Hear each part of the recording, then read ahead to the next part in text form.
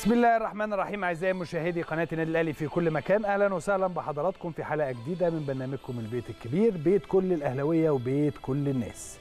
النهارده حلقه الحلقة عندنا هتكون حلقة مختلفة كمان محتواها قد يكون مختلف.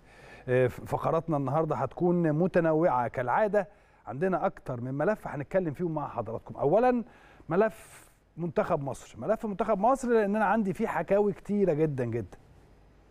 لكن النهارده منتخبنا الوطني واصل النتائج أو سلسلة النتائج السلبية الحقيقة وهزم من منتخب كوريا الجنوبية 4 1 4 1 في مباراة ودية. النهارده كانت المباراة الساعة واحدة ظهرا.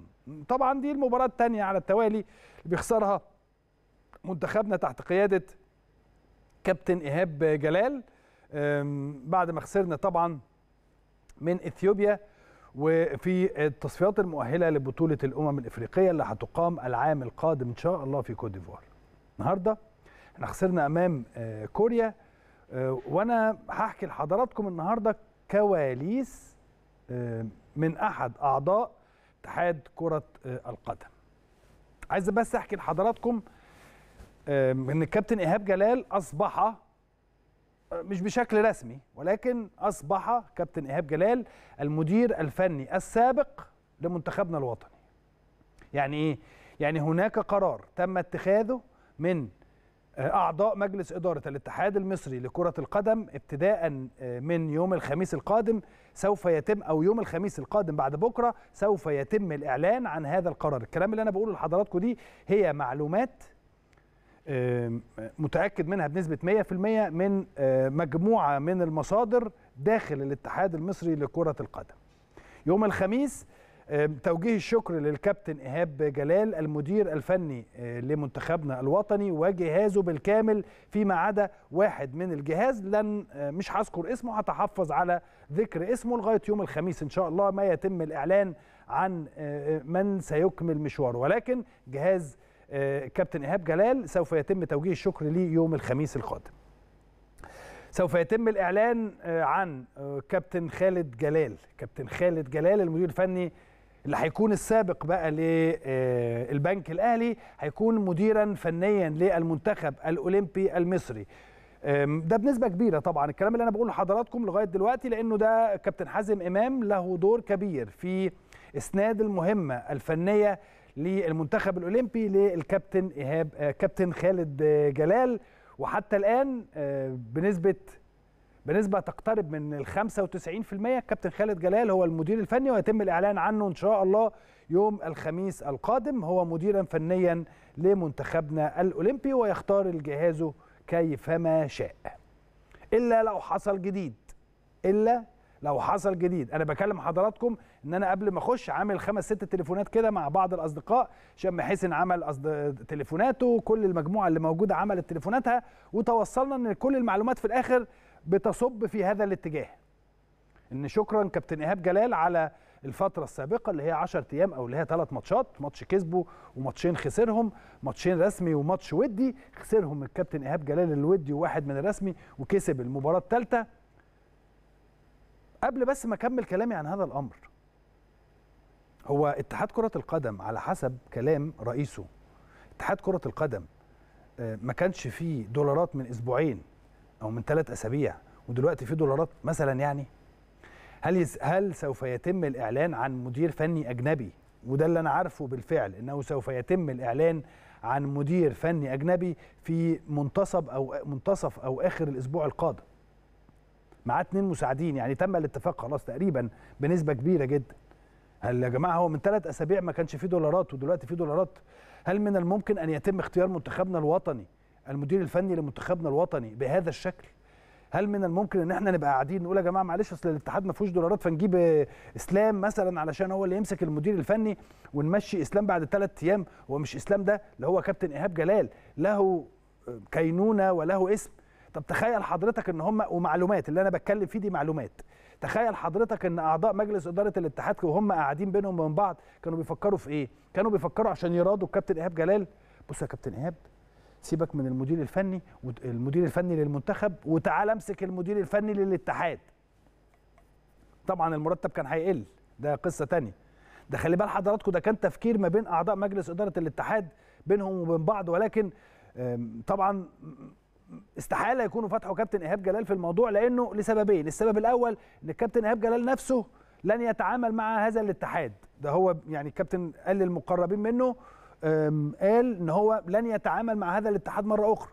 ثانيا إنه عايز يكمل بقى الكارير بتاعه التدريبي فعايز يكمل في هذا الموضوع. وبالتالي تخيل حضرتك إن هم عايزين يرادوا الكابتن إيهاب جلال في هذا الأمر ففكروا فكروا. ان هم يرادوه بموضوع المدير الفني للاتحاد. عشوائية واضحة وصريحة. من ثلاث أسابيع ما كانش في دولارات. ده كلام رئيس الاتحاد مش أنا. النهارده في دولارات عشان نجيب واحد الأسبوع الجاي. نصه آخره الأسبوع اللي بعده. يعني في خلال شهر شهر ونص الدولارات اتوجدت. طب أنا مش فاهم الحقيقة. هو كيف كيف يمكن أن يكون اتخاذ القرار بهذا الشكل وبهذه الكيفية؟ عشان أرجع مرة تانية للي حصل في موضوع الجواب. عشان كده أنا بقول لحضراتكم يا جماعة اللي بيحصل معانا ده أو اللي بيحصل من اتحاد كرة بلاش مع الأهلي. اللي بيحصل مع اتحاد كرة القدم ده منتهى العشوائية اللي بيتم الإدارة بيها.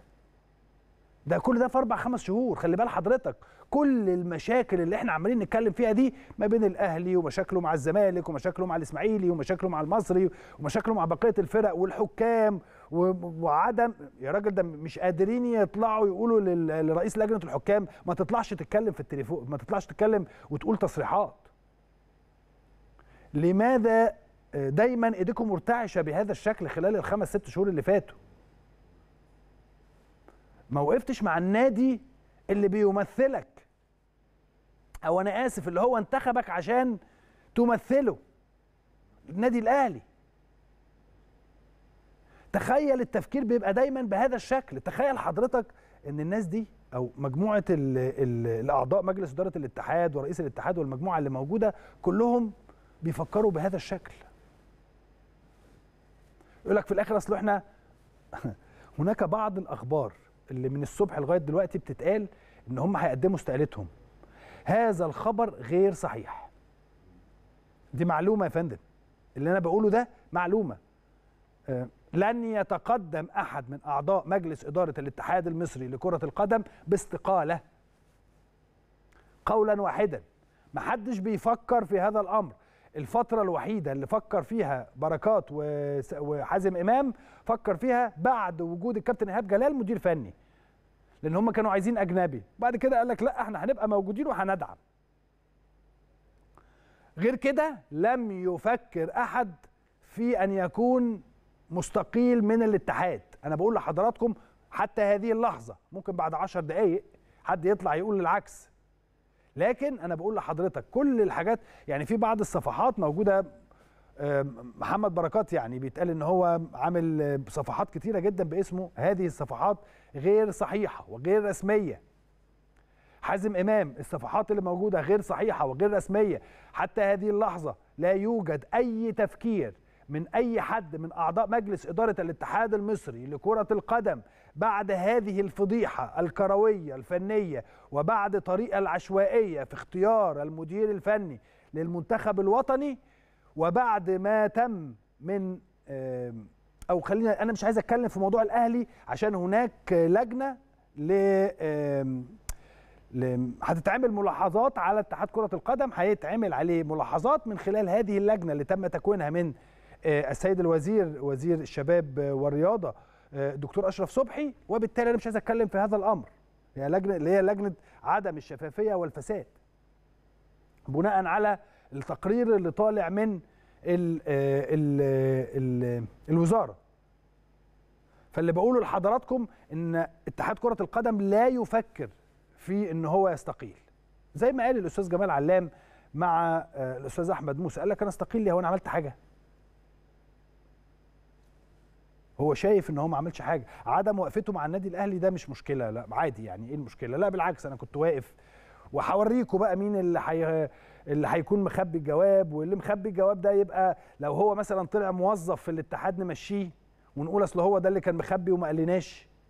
على الرغم من إن رئيس الاتحاد نفسه هو اللي ماضي على الجواب اللي راح للوزارة يوم 14 4 اللي المفروض كان يوم 28 2 أو قبل 28 2 يكون الاتحاد المصري بعت جواب ولكن كل ده ما حصلش. كل ده ما حصلش.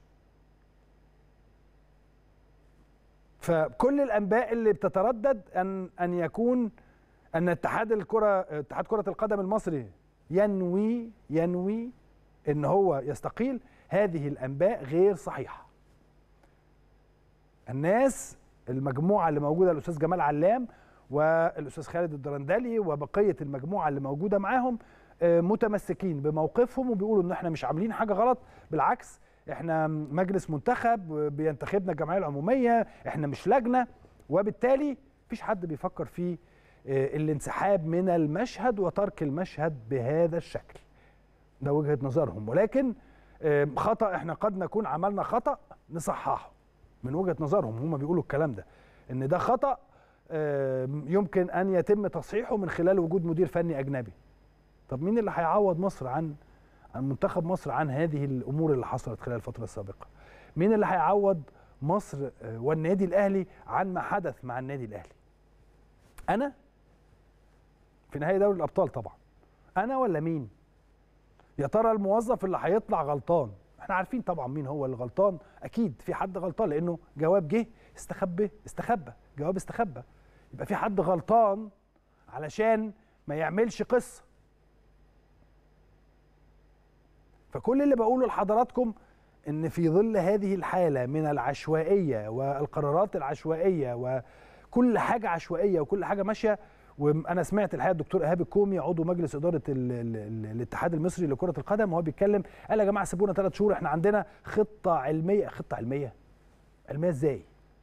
دكتور ايهاب على فكره من الناس المحترمه جدا لكن أنا الحقيقة لم ارى اي شيء علمي حتى الان. دكتور ايهاب هو العلمي ان أنا أجيب مدير فني مصري أو مدير فني علشان يبقى موجود عشان ما فيش دولارات ده بناء على كلام رئيس الاتحاد اللي حضرتك بتنتمي ليه.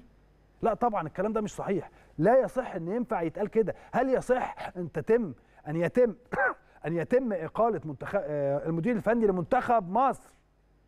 منتخب مصر بقيمته وبعظمته يتم إقالة المدير الفني بتاع منتخب مصر على الهوا في مداخلة تليفونية مهما كانت الضغوط.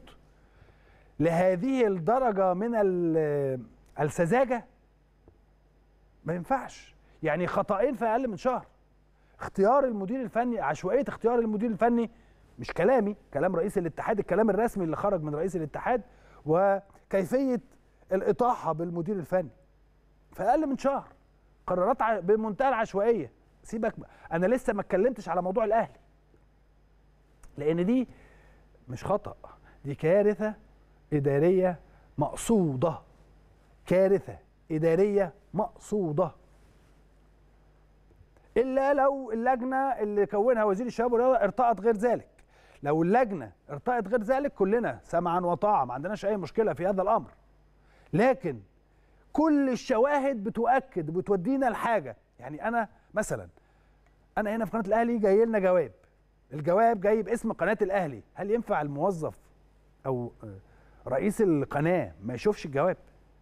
إزاي يعني؟ رئيس القناه يشوف الجواب.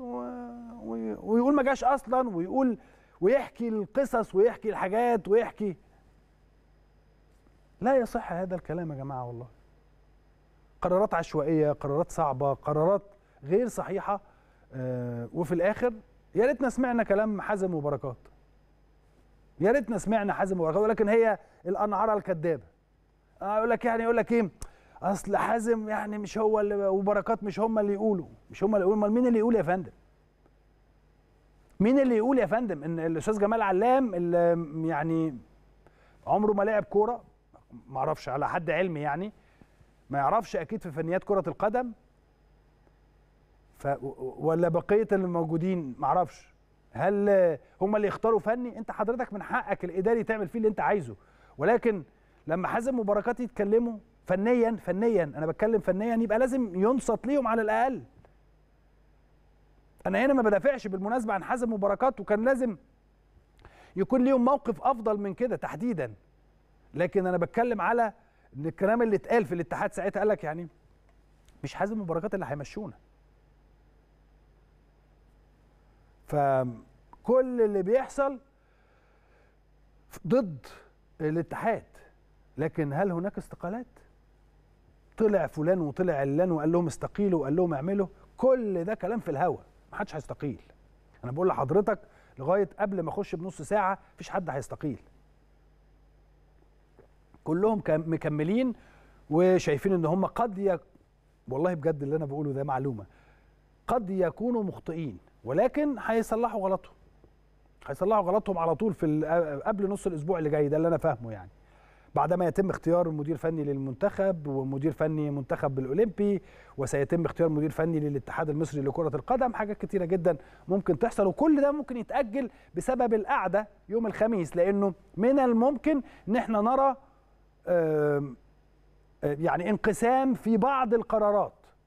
عايز أقول لحضراتكم إن لو الكابتن إيهاب جلال كان كسب كان قعد. لو كسب النهارده كان قعد. ده برضو كلام من الكواليس. الكابتن إيهاب جلال لو كان كسب النهارده كان قعد. لكن هو ما كسبش النهارده.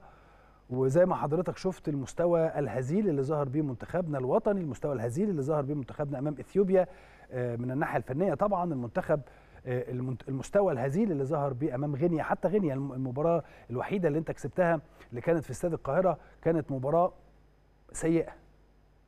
كلنا قلنا هذا الكلام لكن قلنا لا مش هنحاسب الكابتن إيهاب لأن الكابتن إيهاب يعني أول مباراة ليه هنحاسبه بعد ثلاث ماتشات الثلاث ماتشات خلصوا فمن حقنا إن إحنا نحاسبه على الثلاث ماتشات باكج لا الثلاث ماتشات أسوأ من بعض.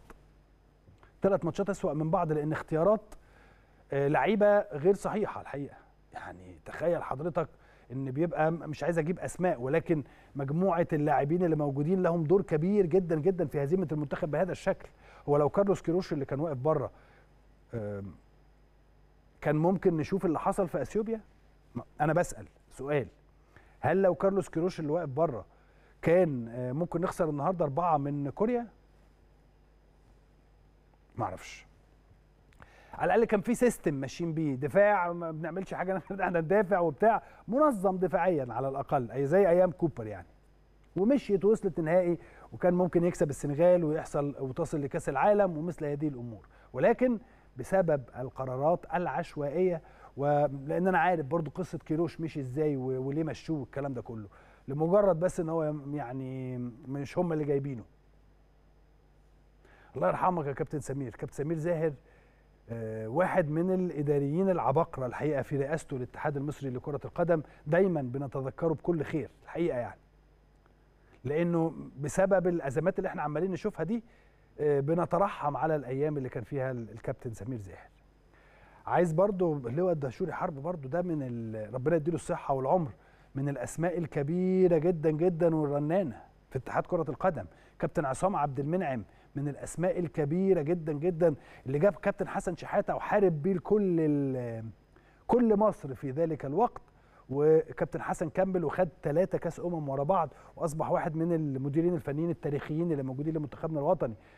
كان عندك رئيس اتحاد يعرف ياخد قرار مش قرار عشوائي ولكن قرار بناء على رؤية كابتن عصام عبد المنعم لواء دهشوري حرب. ربنا يديهم الصحة والعمر ونستفيد منهم.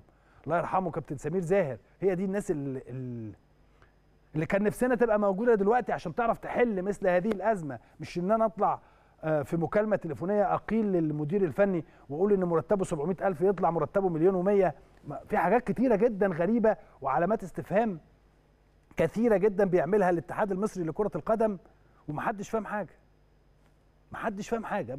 ليه بيعملوا كده؟ اطلع اتكلم بمنتهى الصراحة. قول إن أنا اخطات ده مش عايزين ولا عايز يقول إن هو أخطأ في موضوع النادي الأهلي وان هو خبى الجواب.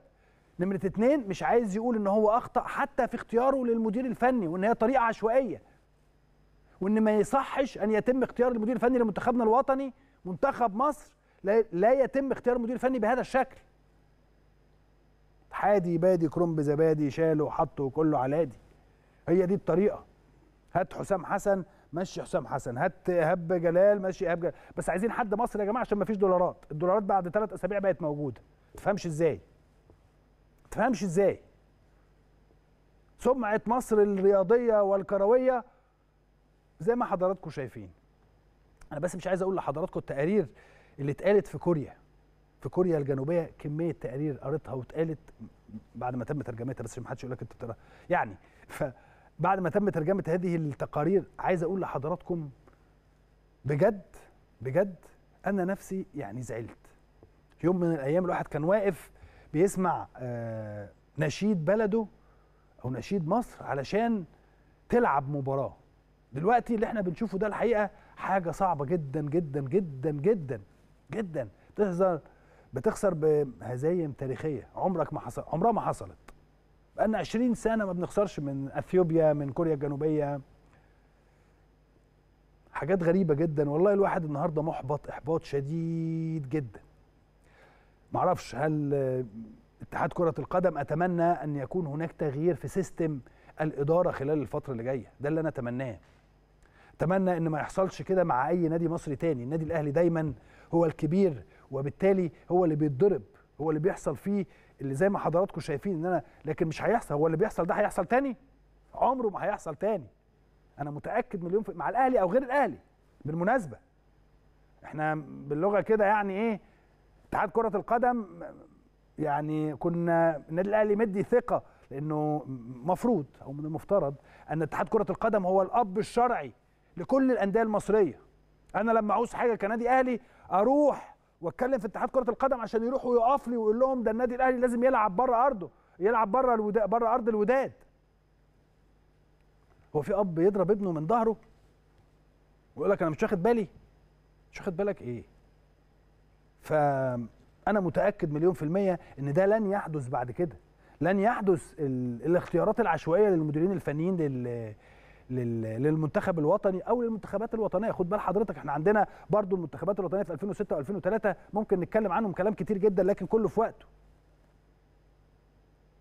فاللي بقوله يجب أن يكون هناك اختيارات بدون عشوائية وبدون استعجال. وفقا لخطة مدروسة نظرة مستقبلية وخطة علمية مدروسة ويجب أن يتم اتخاذ قرار أو لازم اسمع لحازم امام. لازم اسمع لمحمد بركات. لازم هم الناس دي مش بتقول كده عشان يعني تتنطط ولا تعمل حاجة لا. الناس دي بتقول كده لأن عندها رؤية فنية شافتها قبل كده كتير جدا حتى لو هو لاعب. يعني هو لاعب شاف فلان وعلان وترتان شاف أسماء كبيرة جدا بتمرنه وهو إداري شاف أسماء كبيرة جدا بتمرنه وبالتالي أو بتتمرن قدامه. وعارف إيه هي الإجراءات اللي بتتم؟ اسمعوا منهم.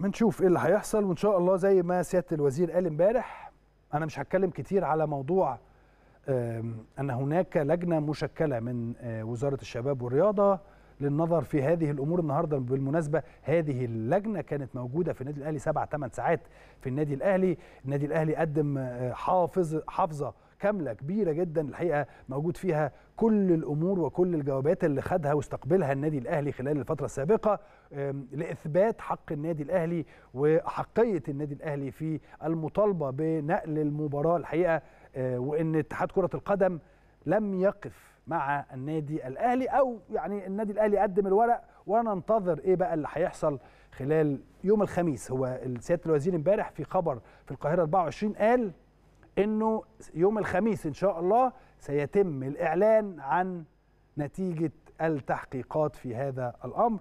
فخلونا ننتظر لغاية يوم الخميس ونعرف إيه اللي حصل. عايز برضه أقول لحضراتكم بكرة عندنا ماتش. عندنا ماتش الساعة 9 مساء أمام ايسترن كامباني في مباراة مؤجلة من الجولة 14 في بطولة الدوري الممتاز على استاد الأهلي والسلام وهنلعب بدون الدوليين.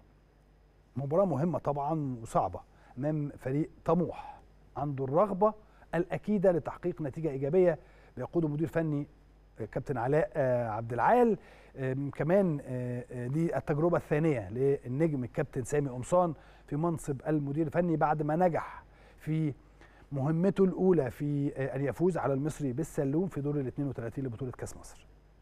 الحاجة الثانية اللي أنا متأكد منها الكابتن سامي كابتن سامي بالمناسبة عنده ملكة كده ومقدره إن هو يطلع أفضل حاجة عند كل لعيب. أنا متأكد من هذا الكلام لأنه قريب منهم وكل اللاعبين لما كانوا بيجوا لنا هنا زي ما حضراتكم كنتوا بتشوفوا كانوا بيتكلموا كويس جدا جدا وباحترام شديد جدا عن كابتن سامي قمصان. وبالتالي الكابتن سامي قمصان إن شاء الله عنده المقدرة إن هو هيفرق هيفرق وجوده إن هو صاحب القرار خلال الفترة اللي جاية. أعتقد ده هيفرق كتير جدا جدا جدا ولا بديل طبعا عن الثلاثة نقاط. بإذن الله نكسب كل مبارياتنا المؤجلة عشان نوصل إلى القمة بفارق نقاط مريح. الأهلي برضو حاليا قبل بكرة قبل مباراة بكرة في المركز الثالث برصيد 37 نقطة من الفوز في 11 مباراة والتعادل في أربع مباريات والخسارة في مباراة وحيدة. تأجل للنادي الأهلي بداية من مباراة بكرة أربع مباريات مؤجلة منهم مباراة الزمالك ودي مباراة طبعا كالعادة بستة نقاط زي ما حضراتكم عارفين ومن الحاجات الجميلة اللي ما تشوفهاش النهاردة من الحاجات الحلوة اللي ما تشوفهاش غير في النادي الأهلي وما تشوفهاش غير من الكابتن خطيب لأنه أكم من رئيس من رؤساء الأندية اللي بيروحوا يزوروا فرقهم. ولكن وجود محمود الخ... كابتن محمود الخطيب رئيس مجلس إدارة النادي الأهلي وأسطورة كرة القدم الحقيقة وإن هو يكون موجود في وسط الول... ولاده النهارده وواقف معاهم في الملعب وينزل يسلم عليهم. النهارده حتى شاف كهربا وسلم عليه والكابتن زكريا ناصف كان موجود مع الكابتن محمود الخطيب. الحقيقة بيقول لهم أنا موجود معاكم. مجلس الإدارة مش أنا. كابتن محمود لما بيجي يتكلم دايما بيقول لنا كده مش أنا مش أنا محمود الخطيب لا مجلس إدارة النادي. مجلس إدارة النادي الأهلي واقف معاكم أهو بوجودي أو وأنا بمثل مجلس إدارة النادي. زي ما حضراتكم شايفين كابتن خطيب موجود وبيسلم على كل اللعيبة. وزي ما أنتم شايفين وشه بيضحك ثقة كبيرة بيدي لهم ثقة. اللي حضراتكم شايفينه ده بيقول لهم أنا معاكم أنا معاك يا كابتن سامي أنا في ظهرك يا كابتن سامي. خلي بال حضرتك ده يفرق كتير جدا مع الشباب الصاعد يعني. اللي موجود في قائمة النادي الأهلي وهم كثر. كابتن سيد عبد الحفيظ كابتن محمود واقف وزي ما حضرتك شايف ما فيش أي علامات الغضب أو علامات الحق لا لا كابتن محمود واقف بيدي لهم ابتسامة ثقة بيدي للاعبين ابتسامة ثقة. خلي بال حضرتك الكلام ده أنا بقوله لأنه دي حقيقة. أنا في يوم من الأيام أنا آسف إن أنا برجع لنفسي في حاجة. أنا في يوم من الأيام كنت واقف مكان اللاعبين دول وكان الكابتن محمود بيبقى واقف قدامنا بنفس هذا الشكل. يمكن إحنا أيامنا كانت الاجتماعات دي قليلة لأن الحمد لله والشكر لله كانت دايما الأمور ماشية بشكل جيد من الناحية الفنية يعني. فالاجتماع لكن لما كان الكابتن خطيب يقف معانا كان كنا بنقف كده نبقى مبسوطين من الكلام اللي هو بيتكلمه معانا. بيتكلم معانا محمود الخطيب بيتكلم معانا حسن حمدي ساعتها. رئيس النادي في ذلك الوقت بيتكلم معانا بقية المجموعة اللي موجودة بيخلونا نبقى قد إيه حاسين إن هم واقفين معانا في كل حاجة. بيديك ثقة كبيرة جدا في الملعب خد بالك. إن أنت لما تفتكر إن مجلس الإدارة واقف معايا في ظل هذه الظروف الصعبة وإن المدير الفني مشي هتقولي ظروف صعبة؟ آه طبعا ظروف صعبة. أنت كنت متعود إن يبقى موسيماني موجود أنا كلاعب يعني. متعود إن موسيماني يبقى موجود كل يوم موسيماني مش موجود. تغيير طريقة اللعب تغيير الأداء تغيير طريقة الكلام حتى. يعني موسيماني كان بيتكلم إنجليزي جو جو اتحرك دلوقتي طريقة الكلام مختلفة الأمور مختلفة وجود سامي قمصان مختلف. فكل ده هنشوفه بكرة إن شاء الله. كل ده هنشوفه بكرة بكرة بالمناسبة. توت ويعمل كده. كابتن إبراهيم نور الدين بكرة إن شاء الله. حكم آه ساحة. كابتن إبراهيم طبعا مشهور بالحركة دي يعني أنا على فكرة ما بقولش حاجة يعني. عينوه عينوه النهارده يعني إيه في وسط الكلام كده أثناء المباراة الساعة واحدة الظهر. حكم الساحة كابتن إبراهيم نور الدين حكم مساعد سمير جمال حكم مساعد تاني أحمد توفيق كابتن حكم رابع كابتن أحمد ناجي كابتن حكم كابتن وائل فرحان حكم فيديو شريف عبد الله مساعد حكم فيديو. ماشي. مش هقول حاجة أنا ما مش هتكلم. كابتن إبراهيم كابتن إبراهيم نور الدين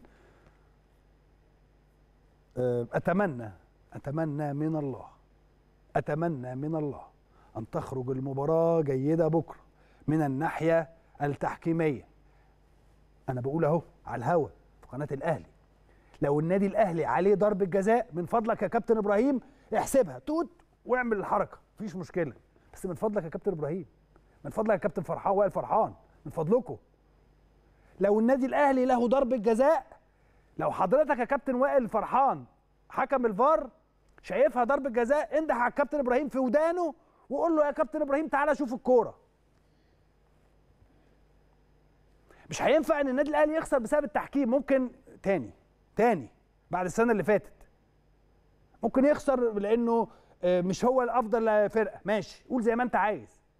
لكن تاني بالتحكيم. حرام عليكم بقى. فأنا يا كابتن إبراهيم أنا عايزك بكرة تصفر والحركة. مفيش مشكلة اعملها. كلنا هنبقى مبسوطين. طالما بتدي النادي الأهلي حقه وطالما بتدي ايسترن كامباني حقه. بالمناسبة يعني. وهطلع أسقف لك. هطلع أسقف لك على الهوا. لو المباراة طلعت من غير يعني. كابتن إبراهيم يعني آه معاك فار ومعاك كابتن وائل فرحان ومعاك حاجات كتيرة جدا مش هتكلم عن كابتن وائل واللي حصل قبل كده. خلينا يا جماعة نبدأ صفحة جديدة. نبدأ صفحة جديدة مع بداية استئناف المباريات الدوري العام المصري. حاضر. ماشي. هستنى بس بكرة نشوف اللي هيحصل إيه لأنه أتمنى أن يكون المعسكر خلال الفترة السابقة للحكام للحكام بقى يكون أتى بثماره.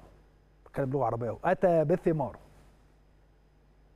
علشان شوف بكرة إيه اللي هيحصل. لكن كابتن إبراهيم نور الدين يجي يعمل لنا والحركة والتنطيطة وبتاع. اعملها بس خليكها صح يا كابتن. والله بجد لو ال Eastern Company هنسقف لك ونقول هايل يا كابتن إبراهيم وهنطلع نقول الكابتن إبراهيم ده حكم رائع ودي حقيقة. أنا بعتبر إن الكابتن إبراهيم نور الدين واحد من الحكام الهايلين.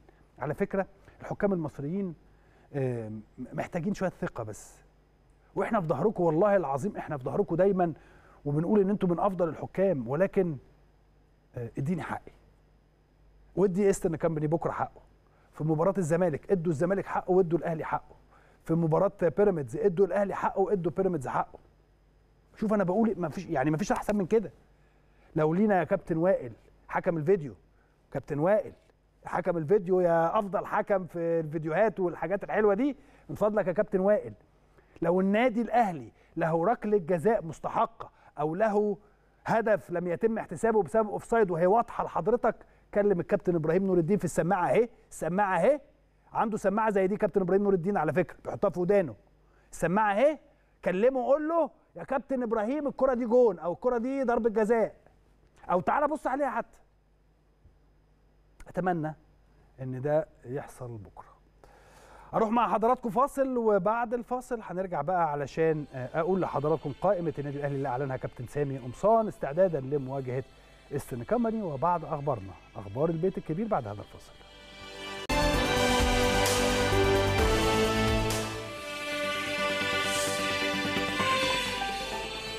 أهلا وسهلا بحضراتكم مرة أخرى أعزائي المشاهدين الأهلي بيعلن قائمة الفريق لمباراة استن كامباني في الدوري. أعلن الجهاز الفني للنادي الأهلي قائمة الفريق استعدادا لمباراة استن كامباني مقرر ليها مساء غدا على استاد الأهلي والسلام والمؤجلة من الأسبوع ال 14 في بطولة الدوري الممتاز. ضمت قائمة النادي الأهلي اللاعبين محمود متولي رامي ربيعة حسام حسن محمد شريف وليد سليمان بدر بنون حسين الشحات اليو ديانج وصلاح محسن ومحمود وحيد ومحمد محمود وطاهر محمد طاهر وكريم فؤاد محمد هاني مصطفى شوبير أحمد عبد القادر أحمد نبيل كوكا وحمزة علاء وأحمد سيد عبد النبي محمد فخري محمد أشرف زياد طارق مصطفى مخلوف. دي القائمة اللي بكرة هتكون متواجد فيها استن كامباني في في هذه المباراة المهمة جدا. الأهلي أيضا بيختتم تدريباته استعدادا لهذه المباراة الهامة وأيضا نادي الأهلي أو كابتن إبراهيم نور الدين حكما لهذه المباراة. زي ما حضراتكم شايفين ده طبعا تواجد الكابتن محمود الخطيب رئيس مجلس إدارة النادي الأهلي والكابتن زكريا ناصف عضو لجنة التخطيط والكابتن محمود كهربا الحقيقة اللي كان متواجد مع الفريق اليوم. كابتن محمد شرف طبعا زي ما حضراتكم عارفين نجم وابن من أبناء النادي الأهلي. الحقيقة جهاز محترم وزي ما أنتم شايفين محمد شرف طبعا واحد كل الناشئين اللي موجودين دول عارفينه كويس جدا لأنهم اتدربوا تحت إيديه. وفي وجود طبعا الكابتن خالد بيبو وبقية أعضاء الجهاز الفني والإداري لقطاعات الناشئين المختلفة. ودي كانت مقابلة الكابتن خطيب لكهربا النهارده. وقد إيه الاحترام المتبادل الحقيقة واضح جدا الكهرباء. قد إيه مبسوط إن هو متواجد داخل النادي الأهلي الكابتن خطيب. زي ما أنتم شايفين زي ما حضراتكم كده شايفين واقف مع كهرباء وابتسامة الثقة والحاجات دي بتفرق جدا مع اللعيب. اللعيب نفسه ممكن يبص للكابتن كده يشوف إيه إن هو يعني متوتر لا كابتن خطيب الحمد لله والشكر لله عارف كويس جدا جدا إن اللعيبة دي عندها يعني محتاجة تشوف هذه الابتسامة فهو رايح مخصوص النهارده عشان كده. كابتن إبراهيم نور الدين زي ما قلت لحضراتكم حكما لمباراة الأهلي وايسترن كامباني تذكرتي تعلن طرح تذاكر مباراة القمة ما بين الأهلي والزمالك. كابتن إيهاب جلال بعد هزيمة منتخبنا الوطني النهارده 4-1 بيشكر اللاعبين ويحصل أجازة على أجازة أسبوع في أمريكا قبل العودة للقاهرة. كابتن إيهاب طبعا في أمريكا بالمناسبة علشان دورة تدريبية للمدربين. محمد بركات بينفي استقالته من عضوية اتحاد كرة القدم زي ما قلت لحضراتكم قبل كده إن محمد بركات يعني اللي أنا عارفه إن بركات ما عندوش غير يعني اكونت على انستجرام غير كده لأ. ده اللي أنا عارفه يعني. فأنا قريت النهارده حاجات كتيرة جدا وحاولت إن أنا أتواصل معاه برضو عشان لكن ما عرفتش أوصل له لأنه مسافر. ف لكن أنا متأكد إن محمد بركات ما عندوش غير حاجة على انستجرام ويعني مشارك هو والأستاذ خالد الدرندلي النهارده محمد بركات خالد خالد الدرندلي مع مجلس إدارة الاتحاد كره القدم على زوم الحقيقة هما الاثنين في اجتماع اليوم.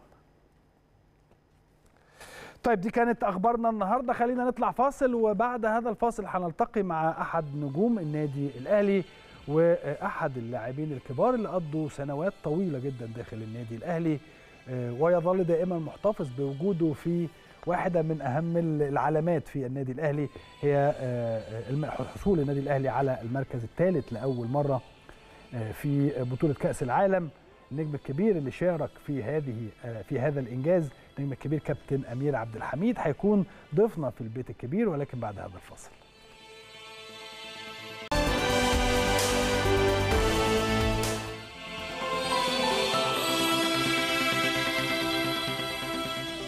أهلا وسهلا بحضراتكم مرة أخرى أعزائي المشاهدين. خلوني أرحب بضيفي في هذه الفقرة واحد من النجوم الكبار في كرة القدم وفي عالم النادي الأهلي وفي حب النادي الأهلي النجم الكبير كابتن أمير عبد الحميد. ازيك يا اميرو حبيبي يا كابتن إيه؟ تمام الحمد لله. كله كويس؟ أول ما قالوا لي إن هاجي معاك ما ده شرف لينا يا أمير والله. يعني شرف أنا ليا. لما بشوفك ببقى مبسوط. الجمهور الأهلي بيحبك وبيحب يشوفك على قناته.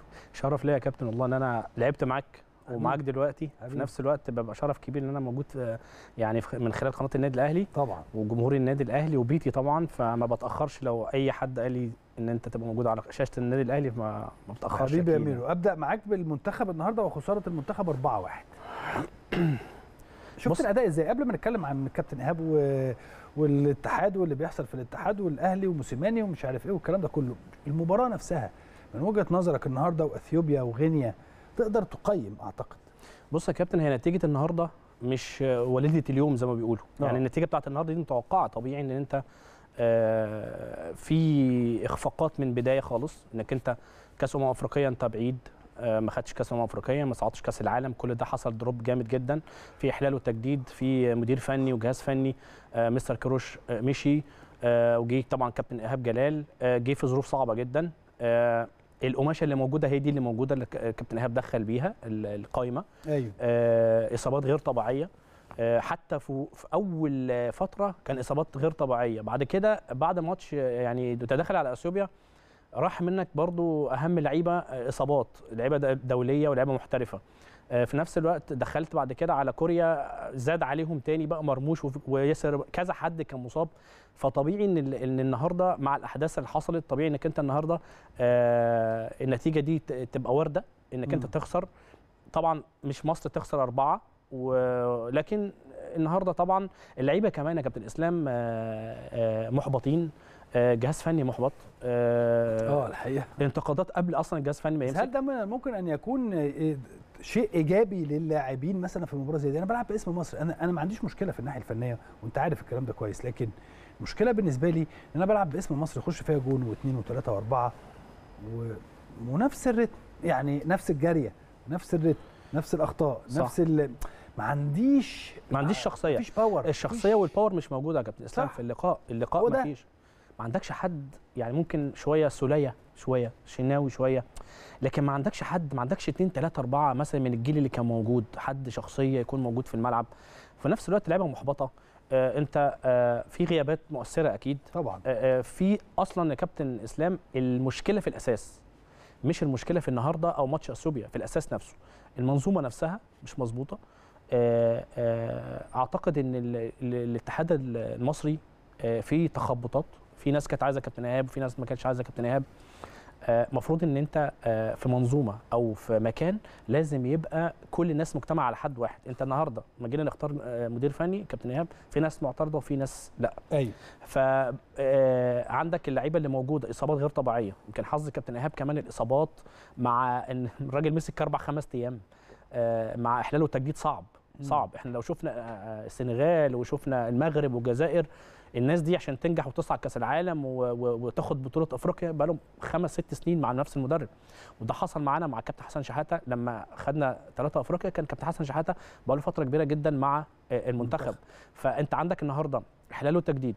عندك النهارده ال- ال- ال quality بتاعت اللعيبة هي دي. ال- ال- ال material بتاعت اللي موجودة في المنتخب هي دي اللي موجودة. مم. يمكن بس كان في يعني أحمد رفعت استغربنا برضو استبعاده وفوج- فوجئنا آه، بعد الإصابات جابه. يعني ده ممكن الوحيد اللي ممكن كان ينضم مع الناس اللي موجودة. مم. فأنت ما عندكش حد تاني آه، موجود.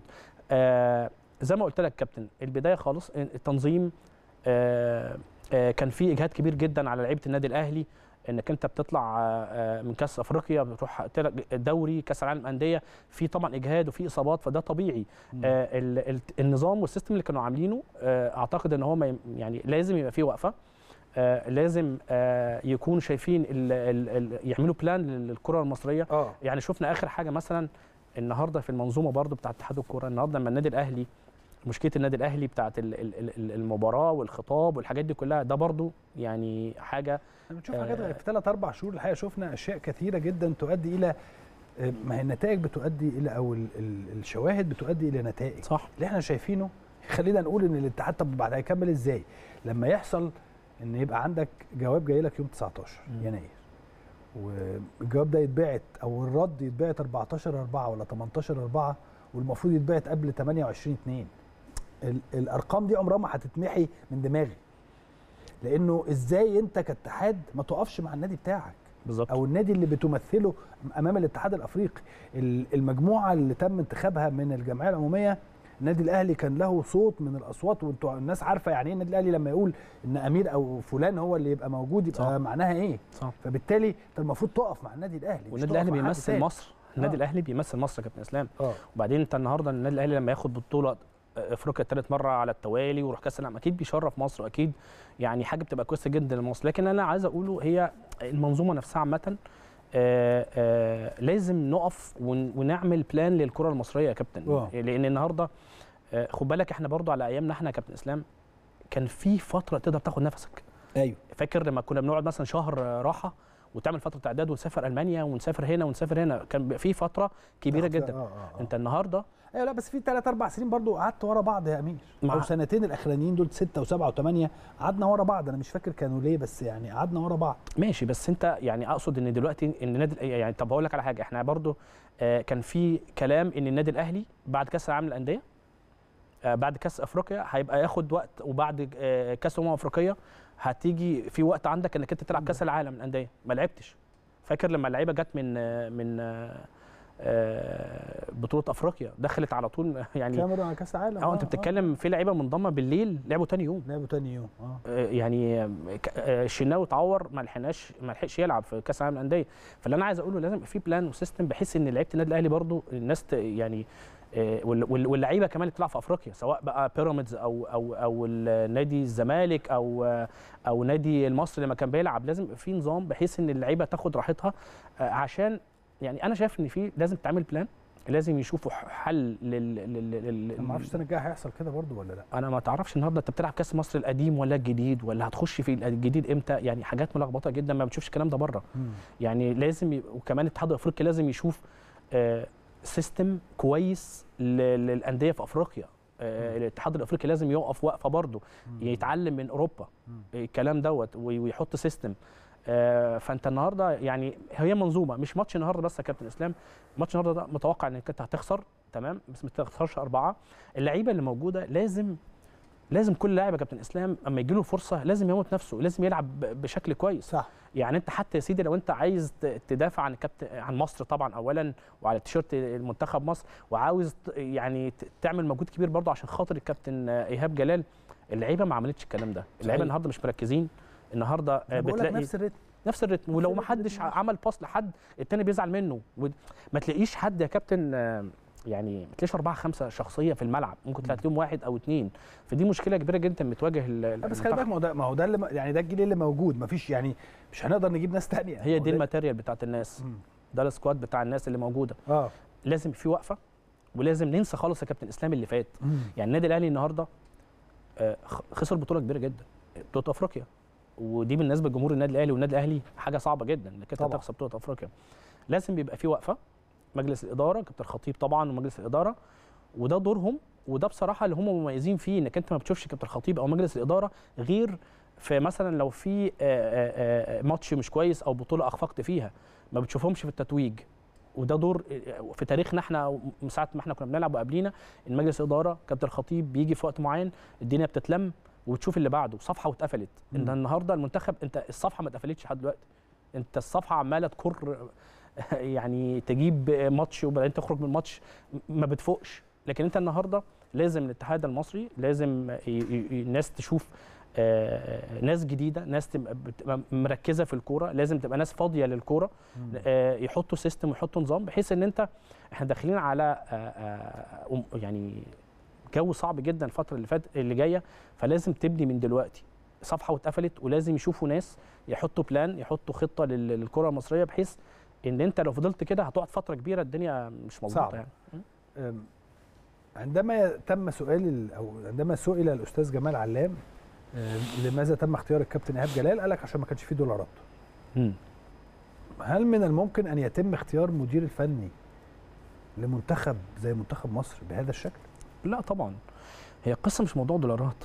ما أنا ممكن أجيب حد اسم برضه هناك برضه بدولارات قليله وبعدين أنت النهارده إزاي ما توفرش برضه دولارات؟ إزاي آه، ما توفرش فلوس للاتحاد ال- المصري بحيث إن أنت تجيب حد؟ وبعدين يعني طب انت حتى لما جبت كابتن إيهاب جلال انت ما دافعتش عن الكابتن إيهاب جلال. يعني انت لما جبت الكابتن إيهاب جلال وبتقول إن مفيش فلوس و... انت ما دافعتش عن الكابتن إيهاب جلال. انت الدنيا آه، آه، بت- الكابتن إيهاب جلال بتهاجم قبل ما يمسك. فأنت ليه ما وقفتش؟ وبعدين أنا شايف إن كل واحد يا كابتن إسلام بيحط المسؤولية على التاني. يعني بتلاقي يقول لك إيه مفيش دولارات. بحيث إن لو الدنيا باظت يبقى خلاص أنا إيه قلت اللي عندي. قلت اللي عندي. آه. في نفس الوقت لو كسبنا خلاص يبقى الدنيا زي الفل وإحنا حلوة اتحاد آه. كويس ولو في حاجات بايظة هتتدارى. لكن انت النهارده الهزائم وال وال وال وال وال وال والعدم سيستم وعدم نظام بيطلع بتكتشف الحقيقة. والنادي الأهلي طبعا النادي الأهلي خلي بالك برضه عشان الناس بس تتكلم على موضوع المؤتمر كابتن خطيب وهو اخره المؤتمر ده ملوش دعوة بهزيمة و- وفوز. إحنا النادي الأهلي آه كابتن خطيب آه بيدور على حقوق النادي. وهو ممثل للنادي الأهلي ورئيس النادي الأهلي بيدور على حقوق النادي الأهلي ودايما النادي الأهلي بيدور على حقوقه بالمستندات وبالورق. لكن وفي الأول وفي الآخر لو في ماتش إحنا النادي الأهلي باركنا لل- للوداد ومفيش أدنى مشكلة خالص آه بالنسبة للروح الرياضية. لكن آه طبيعي إن الكابتن الخطيب النهارده وال- وال- والمجلس الإدارة يبقى في اجتماع ويقفوا ويطالبوا بحقوقهم. فكشفنا برضو أو النادي الأهلي كشف حاجات كتيرة جدا كانت موجودة في الاتحاد. وخلي بالك ده الكلام ده من بقاله فترة يا كابتن إسلام. مم. مش مش من ال حتى من مش من ال- المجلس الاداره اللي موجود في اتحاد الكورة دلوقتي. مم. ده الحاجات اللي قبل كده. ما هو أنت لما يكون في أساس مو يعني آه، مش صح هتلاقي التوابع بتاعته مش كويسة. مش مظبوط. طيب هل ترى مستقبل منتخبنا الوطني مع كابتن إيهاب؟ يعني اللي إحنا عرفناه هو كابتن إيهاب لن يكون متواجدا ابتداء من يوم الخميس رسميا يعني. بص هو الكابتن إيهاب طبعا مدرب كويس جدا آه، من المدربين الكويسين. آه، ولكن هو قبله سوء توفيق غير طبيعي. آه، الفترة اللي بين الحلو والتجديد بين الجهاز الفني اللي قبليه وهو خد فترة بسيطة ما لحقش يعمل حاجة. نعم. تاني حاجة غيابات غير طبيعية آه. إصابات غير طبيعية آه، فكان هو مش محظوظ. فأعتقد يعني بالنسبة للنتائج واللي إحنا شايفينه أعتقد إن الكابتن إيهاب ممكن ما يكملش. الأهم من ان إن مين اللي هيكمل يا كابتن إسلام؟ مين اللي جاي؟ مين اللي جاي؟ ال ال الأساس الأساس لازم يبقى فيه أساس كويس. لازم بس هو الناس هنا تقول لك إيه اللعيبة دي يا أمير؟ ما هي هي نفس اللعيبة اللي كانت موجودة مع كارلوس كيروش من شهرين شهر. أنا معاك بس مس كيروش ما كانش فيه إصابات الخمسة ستة سبعة ال- المحترفين. okay. أهم ناس ما كانوش كانوا مصابين. مرموش كان سليم النهارده اتعور. يعني من الناس برضو اللي هي اللي زادت عليهم. آه. عندك آه، أعتقد ياسر إبراهيم برضو تعب محمد عبد المنعم إصابات. آه، فأنت يعني برضو الناس دي كانت مع كيروش كانت آه، موجودة وكانش فيه إصابات وهو هو نفس النظام وكل حاجة. لكن أنت برضو يعني ممكن التوفيق بيجي من الحاجات اللي هي الصغيرة دي يا كابتن آه. اسلام اللي هي آه، يكون ما يكونش فيه نظام ما يكونش فيه سيستم آه، تكون الناس شغالة مش صح التوفيق بيجي من هنا. مم. فأنت يعني أنا شايف من وجهة نظري إن الأهم اللي جاي إنك أنت تعمل نظام كويس تعمل نظام للكرة المصرية. هتل... الناس لازم يبقى في في لعيبة برضو تانية خلي بالك كابتن إسلام موجودة بس يعني عايزة تتشاف. كابتن إيهاب جلال ما لحقش يشوف الناس دي. آه. يعني في اثنين ثلاثة ممكن يكونوا مميزين في أندية مثلا ما كانوش موجودين لكن آه، ما ما لحقش يعمل أي حاجة. وخد بنى على القديم. والقديم كان في نهاية ال- الانهيار فاهمني يا كابتن مم. فالدنيا لازم الناس تقف لازم يبقى في وقفة و... وتكون ال- اللعيبة اللي هي المصابة دي رجعت إن شاء الله وما تنساش يعني حجازي كمان دوره مهم جدا يعني عبد المنعم ناس مؤثرة جدا في ال في ال في السكواد اللي موجودين. موجود مش موجودين.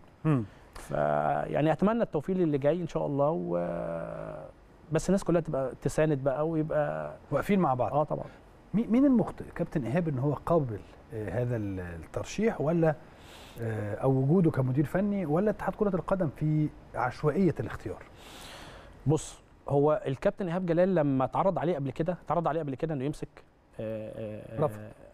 مش أنا ما أعرفش ظروفه إيه. اعتذر. اعتذر اعتذر وكمل آه، وكمل مع كان كان ساعتها أعتقد في بيراميدز برضو تقريبا. في وكمل المصري أو في المصري حاجة كده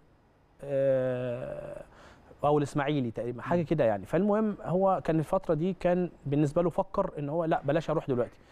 هو التوفيق بقى جه في وقت لما لما هم عرضوا اسمه قال لك لأ دي فرصة برضو مش هقدر أقول لأ تاني. فأدخل وإن شاء الله هيبقى التوفيق معايا. حظه بقى إن أنت النهارده إصابات مع النظام مع خلي بالك هو برضو قبل ما يمسك ال- ال- ال- المنتخب يا كابتن إسلام. الناس كلها كانت في ناس في مجلس الإدارة اتحاد الكورة ناس رافضة وناس عاوزاه. فدي كانت مشكلة بالنسبة له. يعني مم. هو الراجل ضاغط داخل مضغوط أصلا. الجهاز الفني هيدخل مين؟ هيحط مين؟ مين هيتشال؟ مين؟ في كذا حاجة وفي وقت قليل جدا. آه فطبيعي إن يعني الجو مش كويس. يعني بصراحة الجو اللي هو كان فيه كابتن إيهاب أعتقد إن هو ما كانش مناسب يعني. آه، خلينا بقى ننتقل للأهلي وخسارة النادي الأهلي آه، في المباراة النهائية واللي حصل بقى توابع هذه الأمور. وفي النهاية تم فسخ التعاقد ما بين النادي الأهلي وموسيماني في امبارح أو أول امبارح. إيه رأيك في المشهد في المشهد ده كله؟ بص هو طبعا آه النادي الأهلي آه لما في وقت قليل جدا كان عايز مدير فني يكون فاهم يعني إيه نادي أهلي وعارف يعني إيه نادي أهلي وجمهور النادي الأهلي. فلما جه بص وكان متاح كان مستر موسيماني ومعاه جهاز فني الراجل كان معاه في صن داونز واخد بطولات وعارف قيمة النادي الأهلي وعارف جمهور النادي الأهلي. فبالتالي في وقت قليل جه مع النادي الأهلي. النادي الأهلي ضاف له كتير جدا جدا وساعده. كل الإمكانيات كانت آه، متاحة لمستر موسيماني سواء من كابتن الخطيب ومجلس الإدارة الجمهور. كان في مساندة غير طبيعية للراجل والراجل برضه اجتهد وعمل اللي عليه وخد بطولات مع النادي الأهلي. أيوه. الفترة الأخيرة الفترة الأخيرة مع الضغوطات أعتقد إن هو تركيزه ابتدى واحدة واحدة يبقى بره النادي الأهلي. عايز ياخد خطوة جديدة عايز يعمل تحدي تاني. عليه ضغوطات كبيرة عنده عروض كتير فكل ده ضغوطات. ابتدى يعمل حاجة خارج سيستم النادي الأهلي اللي هي أنت النهارده التصريحات بتاعته كانت صعب يعني غريبة جدا. عدم حضور للنادي آه آه كان في حاجات يعني مش متعودين عليها في النادي الأهلي إنك أنت تخرج بره النطاق. فهو كان الفترة الأخيرة أعتقد إن هو كان بيفكر في حاجة تانية عايز ياخد تجربة تانية. أوكي. لكن النادي الأهلي دوره؟ إن أنت النهارده في اجتماع. النادي الأهلي طبعا متعامل مع الموضوع باحترافية جدا كالعادة. قعد معاه واتكلم معاه وشاف ال- ال- الطرفين هي- هيمشوا الأمور عاملة إزاي. وخلاص وخد القرار. والنادي الأهلي شكر الراجل. وإحنا بنشكر الراجل إن هو برده عمل اللي عليه الفترة اللي 20 هو شهر طبعا من بس. النجاحات. المستمرة الحقيقة مع النادي الأهلي سواء اتنين أفريقيا كاس عالم ثالث عالم. أعتقد نجاحات اتنين سوبر نجاحات كبيرة جدا. وصل final خسر ال final الثالث ثالث واحد على آه. التوالي آه. فأنا شايف إن يعني كانت ممكن خطوة لابد منها إن هو خلاص يشوف طموح تاني أو يشوف آه، يعني نفسه في مكان تاني. لكن أنا شايف إن هو كان لازم يتمسك بالنادي الأهلي قوي. لأنه مضى مع النادي الأهلي وقعد مع النادي الأهلي ومضى عقد جوه النادي الأهلي. فأنت مم. هتروح فين تاني؟ في مكان في منظومة مناسبة منظومه كويسة وجمهور كبير وعظيم بره النادي الأهلي. وعايز أقول لك على حاجة كل المدربين يا كابتن إسلام واللعيبة اللي مشت بره النادي الأهلي كله عاوز يرجع وكله بيتمنى يرجع. النهارده شفنا تصريحات لمستر مانو الجوزية قال لك أتمنى أرجع تاني. مم. ف يعني أي حد بره يعني يكون موجود جوه النادي الأهلي ده شرف ليه والنادي الأهلي هيضيف له كتير جدا جدا. فالنادي الأهلي شكره وده الطبيعي بتاع النادي الأهلي إنك أنت عملت اللي عليك وخلاص يعني ربنا يوفقك في سامي. قمصان ووجوده كمدير فني ويعني دايما متعودين على الدعم والمساندة لل لمن يكون في هذا المنصب. كل الدعم طبعا للكابتن سامي قمصان. الكابتن سامي قمصان قبل ما يكون مدرب لعب في النادي الأهلي. وعرف قيمة النادي الأهلي اشتغل بره كان مدير فني. لحرس الحدود وليه اسم كويس جدا ومدرب كويس جدا كل اللعيبة حباه وده طبيعي يبقى المساندة كلها والدعم كله لكابتن سامي قمصان عنده خبرات كويسة اكتسب خبرات طبعا مع مستر موسيماني شاف عارف اللعيبة كويس جدا آه، كلنا هنسانده كلنا هندعمه في نفس الوقت آه، يعني كل المدربين يا كابتن إسلام اللي هم. كانوا رجل تاني آه، من فترة كبيرة جدا قادرين إن هم يمسكوا النادي الأهلي لأن أنت النهارده موجود في الجهاز الفني للنادي الأهلي يبقى أنت قد المسؤولية. النهارده النادي الأهلي شفنا كابتن حسام قبل كده خد بطولات آه، كابتن يوسف كابتن آه، آه، فتحي مو... يعني أقصد كل المدربين اللي موجودين في النادي الأهلي خدوا بطوله خدوا خدوا بطولات وخدوا فرص. فكل الدعم لكابتن سامي اسم كبير ومدرب كويس جدا. كل اللعيبة بتحبه. اتمنى يا رب التوفيق ليه إن شاء الله. ال- الفترة الجاية كلنا هنسانده بإذن الله. بكرة مباراة مهمة ومباراة صعبة من غير اللاعبين الدوليين. يعني. بكرة الشناوي مش موجود. قبل ما أتكلم عن ال- المباراة بكرة الشناوي علي لطفي مصطفى شوبير هذا الثلاثي.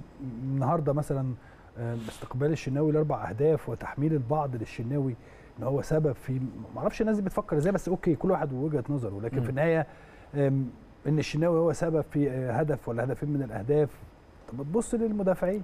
يعني فيهم ثلاث ثلاث أهداف يعني يعني. ولا هدف يا كابتن س... آه، كابتن إسلام من الشناوي. يعني آه. أنا دايما لما باجي أتكلم بتكلم fair. النهارده ولا هدف يسأل عنه محمد الشناوي. okay. الهدف الأول والثاني مس... مسؤولية دفاعية بحتة. خلي بالك في أهداف متحركة يعني حد بيمشي بالكرة متحرك بيلعب بيعمل cross. الناس مش ماسكة كويس. في جول شفناه ال- التاني. الت- آه. دي ده, ده يعني در يعني فاول أو corner آه، كرة ثابتة. فلازم الناس كلها تبقى مركزة.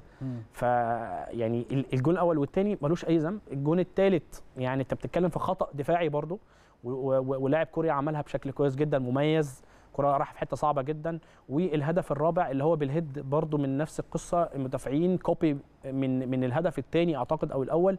فيعني الناس اللي هي بتتكلم على محمد الشناوي آه، أنا عايز أقول إن محمد الشناوي حارس كبير جدا حارس آه، ممتاز وبقاله 3 4 سنين شايل النادي الأهلي وشايل مصر. فأعتقد إن لو في حاجة منه هنقدر نتكلم فيها لكن أنا شايف الناس بتتكلم ممكن بشكل عشوائي لأن لو حد فاهم فعلا كويس كورة مش هي مش هينتقد عن الأربع أجوان لا. آه. الأربع أهداف صعبين طيب جدا. على الجانب الآخر علي لطفي ومصطفى شوبير. مصطفى شوبير ظهر بمستوى رائع في مباراته الأخيرة أمام المصري بالسلوم وأنقذ يمكن كورتين ثلاثة كان لهم تأثير إيجابي على النادي الأهلي ووصوله للدور التالي في كأس مصر. علي لطفي بقالنا كتير ما شفناهوش الإصابة بتبعده شوية وترجعه شوية لكن في النهاية أعتقد إن هذا الثنائي له هيكون له دور خلال الفترة القادمة. تعالى بقى يا كابتن إسلام نتكلم على اللعيبه عامة. النادي. الأهلي دايما لو في غيابات سواء دولية أو غي- غيابات إصابات النادي الأهلي بمن حضر زي ما بيقولوا. انت عندك لعيبة كويسة جدا في لعيبة مستنية فرصة في لعيبة لازم تمسك بإيديها واسنانها عشان ما تندمش بعد كده. فرص مهمة جدا.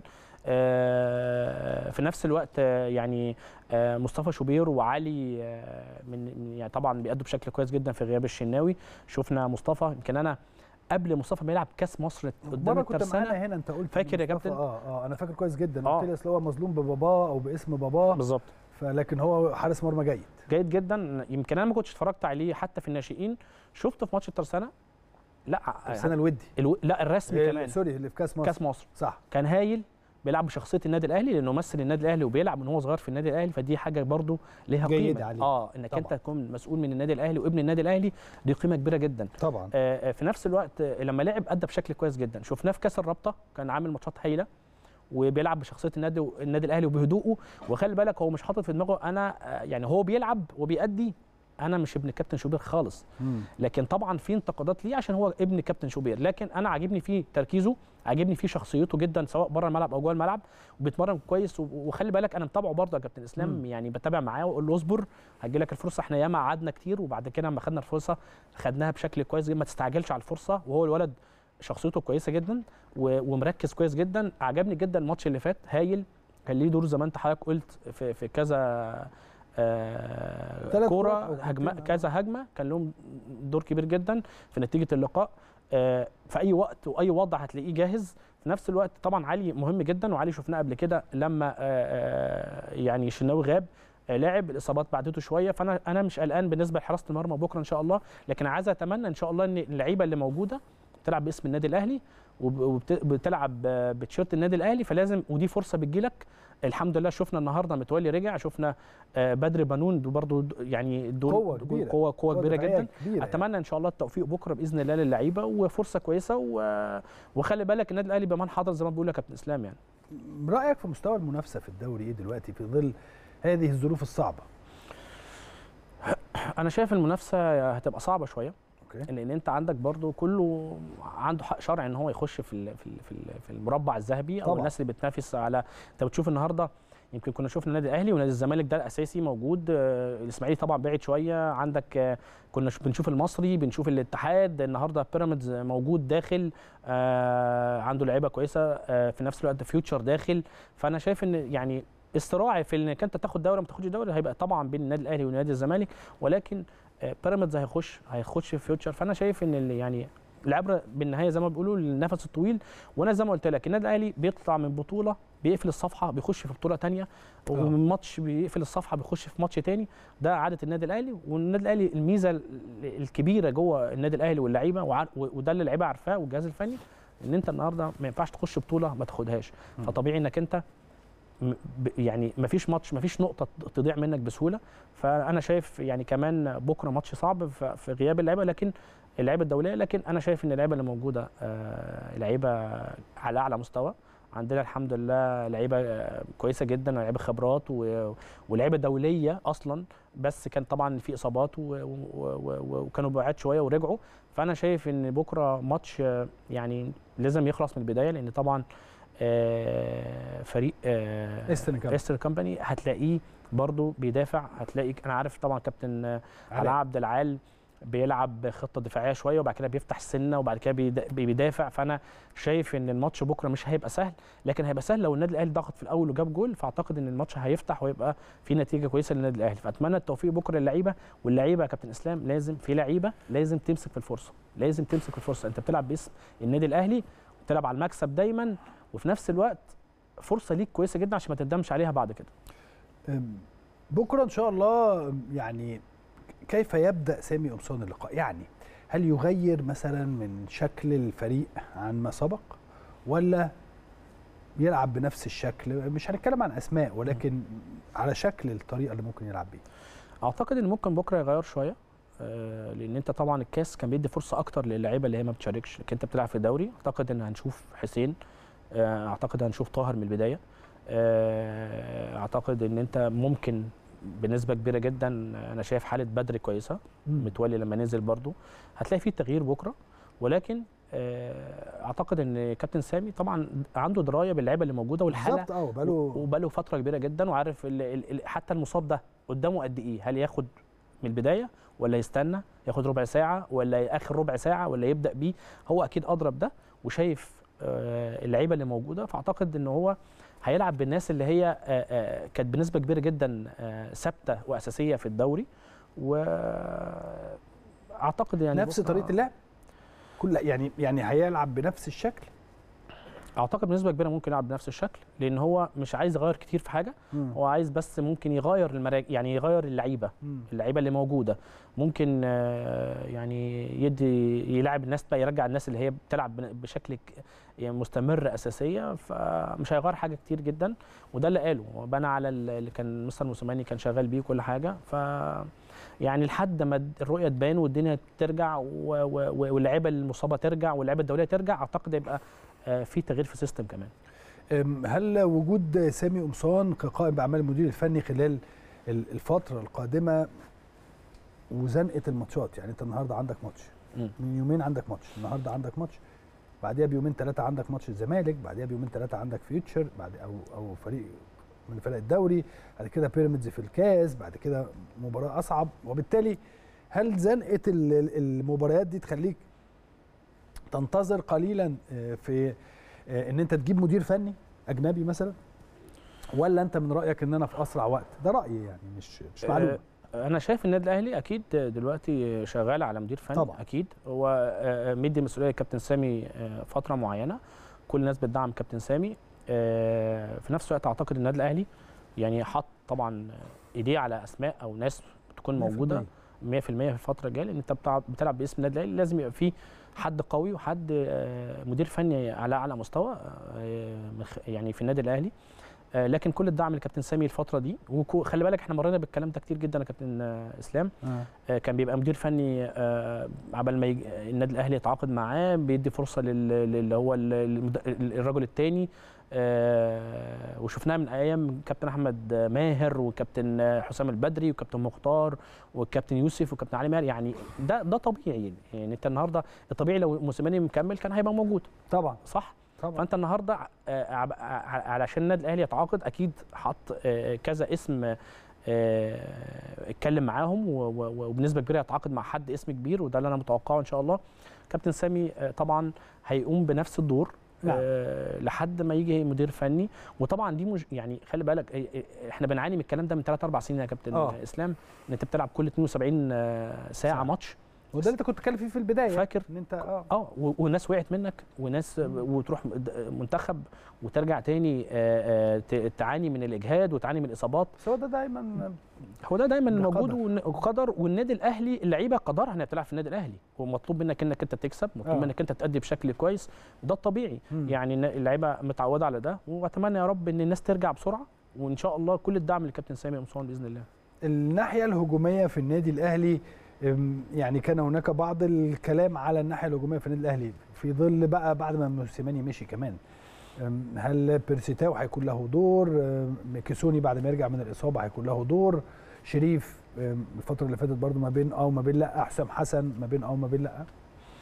آه، أكيد في تغيير. أكيد بص اللعيب اللي ما بيلعبش يا كابتن إسلام دايما بصفة أساسية مع مدرب معين.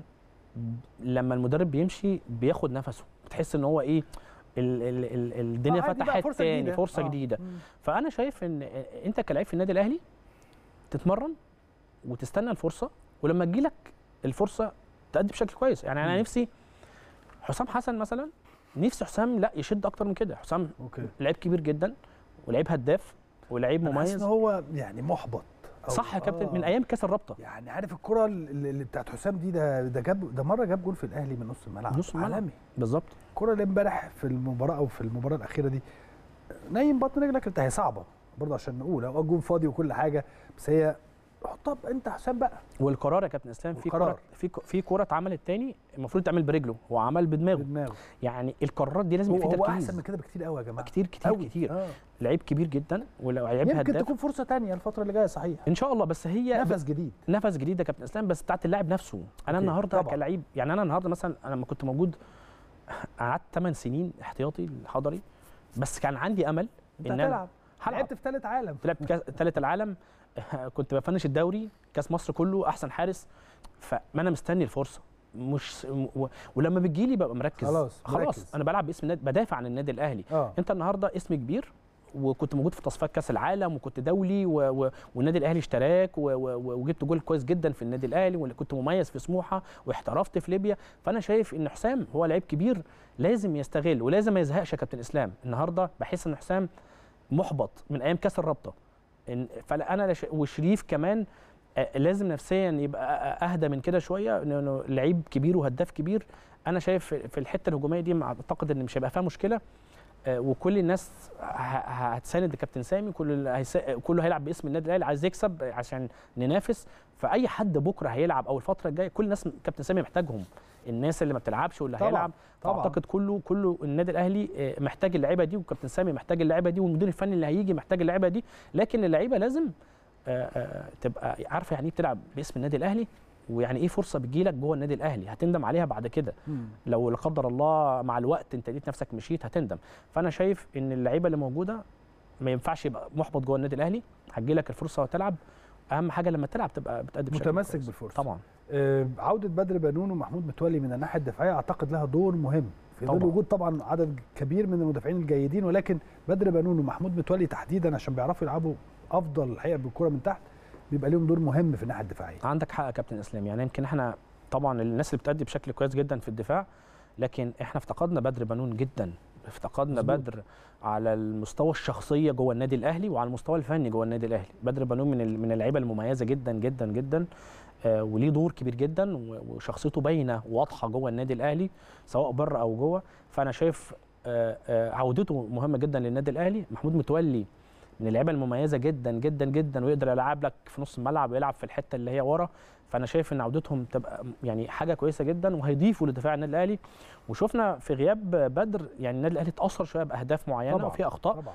آه، رغم إن الناس بتأدي بشكل كويس لكن بدر مهم جدا جوه النادي الأهلي ولعيب مميز جدا آه، وجوده مهم جدا ومتولي. فأنا شايف إن كل لعيب كان مصاب أو قعد فترة كبيرة جدا يا كابتن إسلام يرجع دوره مهم جدا جوه النادي الأهلي. فأعتقد إن كان في جلسات مع الجهاز الفني آه، كابتن سامي كابتن الخطيب في جلسات إن الناس كلها لازم نبقى مجموعة واحدة ولازم دور كل لاعب مهم الفترة الجاية. أمير أخيرا لو حابب تقول رسالة بقى لجمهور الأهلي للاعيبة الأهلي للجهاز الفني قبل هذه المباراة الهامة في غياب الدوليين. أنا عايز أقول لجمهور النادي الأهلي آه، إن شاء الله ما فيش قلق خالص. آه، آه، إنت النادي الأهلي جمهوره كبير جدا بيقف جنب النادي الأهلي في الحلوة وفي المرة. آه، أكيد مساند رقم واحد آه، للعيبة. آه، بقول للجهاز الفني إن شاء الله كابتن سامي والناس اللي موجودة ربنا يوفقكم كل المساندة والدعم ليكم اللعيبة آه، كل التوفيق ليكم إن شاء الله بأمر الله إنك أنت بتنافس وكل ماتش بتلعبه آه، ليه قيمة كبيرة جدا بتيشيرت النادي الأهلي. إنك أنت بتلعب بتيشيرت النادي الأهلي في كل لقاء حتى لو ودي ليه قيمة كبيرة جدا طبعاً. بتسجل في تاريخك. الفترة الجاية اللعيبة كلها محتاجينها اللعيبة كلها كل الدعم ليها. فأتمنى يا رب التوفيق لل- للجهاز الفني كابتن سامي واللعيبة اللي موجودة بإذن الله بحيث إن أنت عندك يعني لسه في انت بتخش من بطولة لبطولة تخش تنافس على الدوري تخش على الكاس. قديم وكاس جديد بالظبط يعني بعد كده. تخش على كاس أفريقيا إن شاء الله نكسب كاس أفريقيا وتلعب آه. كاس عالم الأندية تاني. فكل الدعم والتوفيق لل- للعيبة إن شاء الله بإذن الله. بشكرك شكرا جزيلا يا أمير شرفت ونورت ودايما بنستمتع بوجودك معانا. حبيبي يا كابتن إسلام ربنا يخليك. أنا سعيد ان أنا كنت معاك النهارده. شكرا جزيلا للنجم الكبير كابتن أمير عبد الحميد. هنطلع فاصل وبعد هذا الفاصل كريم سعيد وأحمد ثابت ورؤية فنية آه، تكتك بقى أكتر خلال الفقرة القادمة. كريم سعيد وأحمد ثابت في ضيافة البيت الكبير. أهلا وسهلا بحضراتكم مرة أخرى أعزائي المشاهدين. خليني أرحب بضيوفي في هذه الفقرة. هنتكلم في الأمور الفنية لمباراة بكرة إن شاء الله مباراة ايسترن كامباني كريم سعيد وأحمد ثابت في فقرة دائمة الحقيقة قبل كل مباراة. إزيك يا كيمو؟ إزيك يا كابتن اسلام أخبارك ومساء إيه؟ الخير لكل متابعي قناة النادي الأهلي. إزيك يا أبو حميد؟ الحمد لله كله تمام. كويس؟ الحمد لله تمام. أنا دلع النهارده. أمير وابو حميد وكريم. يلا. أنتوا إيه الأخبار؟ كله كويس؟ الحمد لله. لله. خليني أبدأ معاكم الأول بهزيمة منتخبنا الوطني سريعا علشان نقدر نتكلم أكتر عن مباراة بكرة والتاكد حتى الآن من إن الكابتن إيهاب جلال لن يكون أو أصبح المدير الفني السابق لمنتخب مصر. آه، هو بدون شك الكابتن إيهاب جلال أصبح المدير الفني السابق لمنتخب مصر عقب الهزيمة من أثيوبيا وليس من كوريا الجنوبية. والكابتن إيهاب جلال عارف وهو مسافر كوريا إن دي المباراه الاخيره له وهو كمان والجهاز الفني كلهم عارفين دي كانت آخر مباراة للجهاز الفني. والدربكة اللي عملها آه، الأستاذ جمال علام رئيس اتحاد الكورة بانه يقول تصريحات على الهواء ويرجع على الصفحة الرسمية لاتحاد الكورة ويقول أصل لأ أنا آسف أنا اتفهمت غلط طبعا كل الكلام ده أنا آسف يعني يمثل فضائح تنضاف للفضائح عشوائية. الإدارية آه العشوائية الإدارية اللي بيمر بيها اتحاد الكورة لكن بكل تأكيد كابتن إيهاب جلال كان يعني بياخد المباراة لأن هو بصراحة هو بصراحة كابتن إيهاب جلال على المستوى الشخصي إنسان محترم للغاية ويقدم. واجبه لغاية آخر دقيقة وبصراحة أنا معترض تماما على الأسلوب الإقالة اللي تم معاه إن هو يبقى مسافر في الطيارة أول ما ينزل سيول عاصمة كوريا الجنوبية يجيله على الموبايل notifications أنت تمت إقالتك بصراحة منظر مش مش كويس نتمنى بصراحة الفترة الجاية الأمور تبقى أفضل بس أكيد أكيد لما ناخد قرارات تبقى آه، اداريا كويسة وتخلينا نحط targets كويسة هو الفني الجاي. كريم هو ينفع يا أحمد خلينا نعم. أروح لأحمد ينفع يا أحمد إن أنا وأنا السؤال ده أصله أنا بجد أصل أنا لو ما كنتش سمعت الكلمتين دول بوداني كنت هبقى أقول لا استحالة حد يقول كده يعني يعني استحالة إن حد يقول لك إيه عندما يتم سؤالك مهما كنت مستفز أو مهما كنت صح. طالما على الهواء يجب أن يكون هناك ليميت أو حدود معينة أقدر أتكلم بيها خصوصا لو كنت رئيس الاتحاد نعم. فكرئيس الاتحاد لما يتم سؤالك هو أنت كيفية اتخاذ القرار في موضوع الكابتن ايهاب جلال قال لك أصل مفيش دولارات. مفيش دولارات في الدور آه، بجد؟ آه، هو قال كده على فكرة آه. الصوت. أيوة. يعني أنا سمعت الم- المكالمة مرة واثنين وثلاثة وأربعة. قلت يمكن يكون فيها حاجة غلط متركبة عاملة أي حاجة.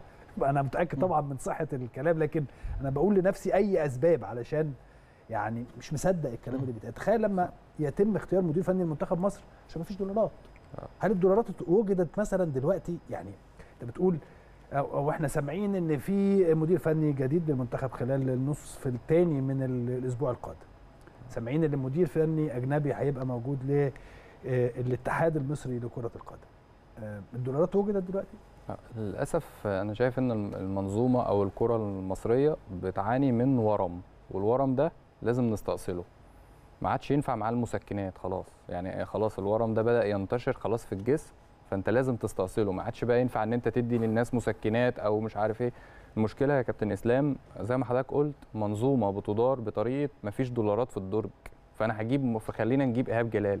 طبعا كامل الاحترام لكابتن إيهاب جلال بس برضه يعني وجهة نظري إن كان اختياره كان هو مش من المدربين اللي بتتحمل الضغوط قوي أو ما اشتغلش في الأندية الجماهيرية. لما اشتغل في الأندية الجماهيرية ما نجحش فيها على قد قدر الإمكان. ولكن كان منتخب مصر محتاج مدرب يكون شخصيته أقوى شوية يكون فنيا برضو آه، أعلى تكتيكيا شوية. كابتن إيهاب دايما مميز بال build up. أنا بصراحة ما شفتش ال build up خالص ما شفتش. آه أنا أول مرة بالمناسبة صح ما اشوفش إن الكابتن إيهاب بيلعب من تحت. باينة جدا. ما أعرفش في حاجة مش مظبوطة يعني. تحس إن الموضوع مش راكب على بعضه. هقول لحضرتك على حاجة. يعني. إزاي منتخب مصر ما فيهوش مدير منتخب مصر؟ ما فيش مدير كورة فيش ربط المعسكر أصلا مهلهل ما فيش ما يعني فين فين مدير المنتخب؟ مين لازم يكون في مدير كورة سواء في الن- النادي الأهلي شايفين كابتن سيد ودوره. بنشوف لازم في منتخب مصر يكون نفس ال- الموضوع. فين مدير المنتخب؟ ما طبيعي إن اللعيبة هتبقى إن هي أنت أنت خاصة كمان إن المدرب شخصيته مش قوية قوي. فلازم يكون معاه مدير كورة شخصيته أقوى. يعني شخصيته قوية تقدر تغطي على اللعيبة يقدر ما مش لعيبة ممكن مثلا ما تجيش ماتشات بتاع. في حاجات بتحصل في المنتخب في الرياضة المصرية بسبب مظبوطة. مش مظبوطة. خاصة كمان بقى ده اتحاد يعني أنا مش برضو مش عايز ألوم اللوم على المدرب بس لا ده المنظومة كلها اتحاد الكورة. اتحاد الكورة ده يا كابتن إسلام من ساعة ما جه في شهر يناير إحنا في كأس الأمم ما خدناش كأس أمم. كأس عالم ما وصلناش كأس عالم. منظومة تحكيم مش عارف يغيرها. موضوع النادي الأهلي وتنظيم مش نهائي. عارف يقول لرئيس لجنة الحكام اسكت. آه. ده إحنا بقى صح. إحنا منظو... منظو... موضوع تنظيم نهائي دوري أبطال أفريقيا فشلوا فيه فشلوا فيه عن جدارة. وشوية يطلع يقول لك أصل الأهلي هو السبب ومش عارف إيه وبتاع وهم فشلوا فيه عن جدارة. موضوع التحكيم فشلت فيه عن جدارة. موضوع اختيار مدرب منتخب مصر مش هم اللي مختارين إيهاب جلال؟ وهم اللي قالوا إن مفيش دولارات في الدرج. فاذا الفشل ده كله سببه المنظومة نفسها. أنا مش عايز أظلم المدرب لا ده أنت اتحاد الكورة يتحمل المسؤولية الكاملة من. وجهة نظري. طبعا. كل بكلهم يعني اتحاد الكورة أنا لغاية دلوقتي مش شايف أي نجاح ليهم حتى الآن. مم. وهم اسم مصر كبير. عيب اللي بيحصل في في المنتخب بالشكل ده. نخسر من أثيوبيا. أثيوبيا يا جماعة 2-0 ونخسر من كوريا النهارده. كوريا لو كانت شدت علينا كن كانوا عملوا 7 8 والله. بس أثيوبيا. اثيوبيا لو كانت شدت كانت هتكسبك 4 أثيوبيا على رأيك كانت هتبقى مشكلة كبيرة آه، جدا. وكوريا كوريا النهارده كانت بتلعب على الواقف وهي لعبة واحدة اللي بيلعبوا عليها بيجمعوا اللعب ناحية اليمين ينقلها لل back left اللي طاير ويعمل العرضية والكرة جون. الجون الرابع وهو بيجي نفس الجون الأول. أنت بتتفرج على الماتش هي لعبة Play واحدة. Station آه. Play بيجمعوا اللعب الجون الأول ده جاي 34 تمريرة. يقعدوا يدوروا اللعب رغم إن أصلا أسلوب لعب كابتن إيهاب جلال التدوير والاستحواذ وبناء اللعب أنا بصراحة المنظومة كلها محتاجة تغيير محتاجة وقفة مهمة جدا جدا ونتمنى برضو في نقطة مهمة كابتن إسلام إحنا ما عندناش آه، الت- التطوير أو ال- الحاجات دي بتحصل إزاي؟ إن أنت لازم تأسس الناشئين الأول صح. إزاي؟ إن أنا يعني بنشوف ألمانيا مثلا بيجيبوا المدرب بتاع المنتخب الأولمبي يقولوا له إحنا هنصعد الجيل ده. مثلا آه، لوف لما مسك مسك الأول منتخب أولمبي صعد بالجيل ده رباهم الأول وبدأ معاهم خمس سنين ست سنين بعد كده صعد بيهم للمنتخب الأول. يعني أنت كمان ما عندكش أصلا إعداد كوادر مدربين. مصر حتى الآن من وجهة نظري ما فيهاش مدربين. إحنا لما شفنا برو كاف ما فيش مدرب يعني أنت لو اعمل استفتاء كده وقول اسم مدرب منتخب يمسك منتخب مصر. هتلاقي آه يا- أسمين ثلاثة وكل ما بيمسكوا ما بينجحوش. بقى في أزمة كمان إن أنت الفترة الجاية المدربين المصريين مش يبقى معاهم رخصة البرو كاف آه. ممكن ما فيش أندية تتعاقد معاهم راحها موسيماني يا كريم إحنا لما آه. قلنا كده لما آه. قلنا كده واتكلمنا في هذا الأمر الناس طلعت في الاتحاد يا عم أنت بقى أنت تعرف حاجة وأنت والله بجد دي معلو... يعني بيوصلني طبعا اللي بيتقال جوه ما بين ال هم معتقدين إن أنا ممكن أكون ضد حد أو مع حد أو أي حاجة لكن هي ما يعرفوش إن أنا لما باجي أتكلم كده أنا بتكلم على بلد أو لا هو أحلى حاجة اللي إحنا هنستشهد بيها هنا اول أول يعني ما, ما نسمع أو الصفحة الرسمية لاتحاد الكورة تكتب رسميا دون دون ذكر أسماء يعني إن في حكم أجنبي سيتولى رئاسة لجنة الحكام. مزمار لو بلدي. دي حص... مزمار بلدي هجيب مزمار بلدي. لو دي حصلت. ممكن الأستاذ سمير يطلع لنا ال archive بتاع الحلقات هنا بنتكلم على ال topic ده. بقالنا كام بقالنا قد إيه؟ لا ما إحنا ممكن اليوم ده إحنا نسيب الحلقات القديمة أيوة. الارشيف بتاع الحلقات القديمة اللي طول. اليوم بقى. شغال طول اليوم ما أصل إحنا يا دوبك ما هو طول اليوم هيجي هيشوف برضو الحكام هنا بتغلط الأخطاء ده, ده أيوه معلش بس هيبقى لا ينظر لاحتواء لا ينظر لحب الحد لا لا ينظر للحركات اللي بتت... يعني ما ممكن يكون روح القانون وروح البروتوكول والحاجات وروح الغريبة. البروتوكول والحاجات الغريبة اللي إحنا ما سمعناهاش غير في مصر بس ومن الكابتن عصام المحاضر الدولي اللي هو له كل الاحترام طبعا ولكن في نفس الوقت عمرنا ما سمعنا روح نعم. بروتوكول. لما سألنا حد بره قال لك روح بروتوكول. ماشي. المهم يعني خلينا نرجع ما تاني عدتش عشان عليا في الجامعة دي. نعم. هيقول لك ما عدتش عليا في الجامعة دي والله. آه آه. ف الحقيقة طيب خلينا ناخد فاصل قبل ما أرجع نعم. أتكلم عن موسيماني ورأيكم في فسخ العقد بالتراضي ما بين آه، النادي الأهلي وبيتسو موسيماني. ولكن بعد هذا الفاصل نعرف رأي كريم سعيد وأحمد ثابت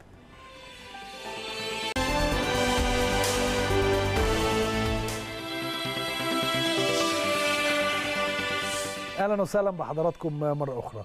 موسيماني فسخ أو تم فسخ التعاقد مع موسيماني آه، ما بينه وما بين النادي الأهلي. إيه رأيك في هذا الأمر؟ شايف يا كابتن هو انفصال منطقي بسبب يعني تراكمات آه، فضلت تحصل خلال الفترة الأخيرة. أعتقد بيتسو موسيماني آه، يعني خلي أكيد خلت اسمه في تاريخ النادي الأهلي خصوصا على مستوى دوري أبطال أفريقيا وعلى مستوى آه، مونديال الأندية إن هو آه، يعني آه، كسب مع النادي الأهلي اثنين دوري أبطال واثنين برونزية ورا بعض.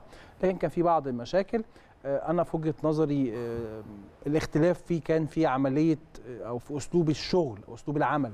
ما كانش بسبب يعني الناس شايفة الموضوع بسبب خسارة نهائي دوري أبطال أفريقيا. هوب يلا موسيماني يمشي. لا خالص.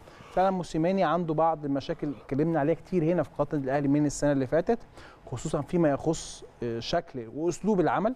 كيفن جونسون بعد ما مشي في نهاية الموسم الماضي بيتسو موسيماني طلع بغرابة بصراحة. قال أنا مش محتاج حد بديل وأنا مكتفي بالكابتن سامي قمصان وإحنا هنقدر يعني نكمل المسيرة.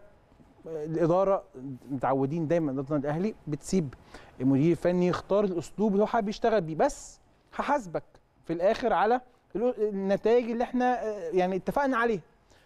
النتائج طلعت مش على أفضل حال وبالتالي كان يجب التدخل. لما أجي أتدخل ما ينفعش تقول لي أنا آسف لأ أنا حابب أمشي بالطريقة بتاعتي. ما هي فشلت. وبالتالي يعني في الشد والجذب أكيد كان في بعض الاختلافات وبالتالي آه، أنا في وجهة نظري الانفصال كان منطقي جدا. وباحترام. آه طبعا طبعا طبعا. هو يعني أتمنى طبعا النادي الأهلي إن شاء الله يعم- يعمل لبيتسو موسيماني يعني حفل وداع. كان فعلا المفروض أن يكون هناك حفل تكريم ده بناء على كلام الأستاذ دكتور سيد سعد دكتور شلبي. سعد شلبي. نعم. آه، امبارح في أحد المداخلات التليفونية كان بيتكلم في هذا الأمر. آه نتمنى إن شاء الله حتى ممكن لو مش مش مش كده مش دلوقتي ممكن بعد كده النادي الأهلي عمره يعني ما بيأثر في الأمور دي وإحنا وكويس إن يعني العلاقة انتهت بشكل محترم وإحنا شكرناه شكرا جزيلا على الفترة اللي أنت قضيتها معانا. لكن بكل أمانة بكل امانه الفترة الجاية فعلا كانت تحتاج لتغيير طالما إن بيتسو موسيماني كان متمسك بأسلوب العمل اللي هو من وجهة نظره كان شايف إن هو ناجح وبكل امانه أي حد يحط كده المعطيات زي السنة اللي فاتت كان استحالة تشوف إن الفترة الجاية كنت هتوصل لنتائج جيدة أو ترضي المنظومة أو ترضي جماهير النادي الأهلي. موسيماني طبعا يستحق التحية على الفترة اللي فاتت دي كلها. عمل بطولات كويسة وإنجازات يعني بطولة القضية ممكن دي هتفضل في التاريخ. أكيد موسيماني برضو هيفضل اسمه موجود في تاريخ النادي الأهلي. ولكن زي ما يعني موسيماني أضاف النادي الأهلي طبعا أضاف كتير جدا لبيتسو موسيماني. بدليل أول لما جه أول يوم بيتسو موسيماني رئيس دولة جنوب أفريقيا نزل له على طول وبعت له المباركة يعني. ولكن أنا شايف إن طريقة ال- الانفصال في الآخر يعني أنا شايف إن النادي الأهلي وموسيماني في الآخر موسيماني ما كانش موفق قوي في الفترة الأخيرة بصراحة لكذا سبب يعني. وقد موسيماني لو كان كمل ده بالمناسبة ده رئيس الجمهورية هناك بيهنئ بيتسو موسيماني أول ما انضم ليهم. فدي حاجة يعني النادي الأهلي أضاف لبيتسو موسيماني كتير. ولكن من وجهة نظري إن موسيماني قد لو كان كمل كان ممكن بنسبة كبيرة النادي الأهلي يخسر الدوري. ليه؟ من وجهة نظري. أول حاجة الحالة البدنية بتاعت لعيبة النادي الأهلي في الفترة الأخيرة كانت وصلت لحالة مش كويسة بسبب المعد البدني. ولهذا تم الطلب إن إحنا عايزين نطلب مدرب أحمال بدنية يضيف لك معاك لأن الحالة البدنية بتاعت اللعيبة بصراحة في الفترة الأخيرة كانت قليلة جدا. حتى ظهرت في مباراة المصري اللي تسلوم لعيبة الأهلي ما ظهرتش بالشكل القوي قوي بدنيا. موسيماني في الفترة الأخيرة فقد فقد الشغف. فقد الدوافع عكس أول سنتين. عارف لما بتفتح مشروع لما واحد بيفتح كافيتيريا والكافيتيريا دي بتجيب فلوس في الأول وجايبة مكسب ومش عارف إيه وبعدين بقى يحط رجل على آه رجل وبعدين خلاص. آه الشغف بتاعه قل. فخلاص أنت محتاج تغيير محتاج مشروع تاني محتاج حاجة جديدة. ده اللي حصل بالظبط. كمان موسيماني في الفترة الأخيرة ذهنه بقى مشتت. تصريحات كتير إعلامية زوجته بتطلع تتكلم. آه، حاجة تحس مش مش ده أسلوب النادي الأهلي. النادي الأهلي دايما في الفترة قافل. الأخيرة قافل. حتى برضه فنيا. على نفسه يعني. آه في آه في التصريحات. تكرار أخطاء الموسم الماضي يا كابتن إسلام في حتة المباريات الصغيرة. قدام البنك الأهلي تعادلنا خسرنا من المصري اتعادلنا مع سيراميكا. فالفتره الأخيرة كذلك برضو تغيير طريقة اللعب. كتير. 4 2 2 2 4 2 3 1 3 4 3 آه، أوضة اللبس برضو في الفترة الأخيرة ما كانتش أحسن حاجة. فأنت تحس موسيماني ليه كل الاحترام. وقدم وهيفضل علامة ممتازة في تاريخ النادي الأهلي. ولكن في الفترة الأخيرة أعتقد زي ما قلت لحضرتك إن ده مشروع ومحتاج التج... محتاجين نعمل refreshment بقى خلاص نشوف تجربة جديدة نقطة ومن أول السطر. من أول السطر. ولازم ندعم الفترة دي الجهاز الموجود. طبعا. الجهاز الفني للنادي الأهلي. على فكرة هقول لحضرتك على حاجة كابتن سامي قمصان مدرب كبير جدا مدرب كويس قوي. أيوه تكتيكيا وكان ليه دور أنا على علم بالكلام ده إن كابتن سامي قمصان ليه دور كبير جدا جدا جدا مع بيتسو موسيماني في تغييراته في قرايته للملعب في حاجات كتير جدا. عايز أقول لحضرتك كمان لو نعرض بقى الصور بتاعت الجهاز الفني نعرف الناس مين الموجودة دلوقتي الجديدة. كابتن محمد شرف. كابتن محمد شرف الناس برضو لازم تكون عارفة إن كابتن محمد شرف ده واحد من أفضل المدربين في قطاع الناشئين في النادي الأهلي. آه. في في مواليد الأهلي طول عمره. مواليد آدي كابتن محمد شرف كان ماسك فرقة 2001 أيوه. وكان في السنة دي كان النادي الأهلي متأخر ب 11 نقطة. رجع وكان في 2001 خلاص كنا هناخد الدوري في المباراة الأخيرة مع طلائع الجيش لما لما ما كسبناش الجونة.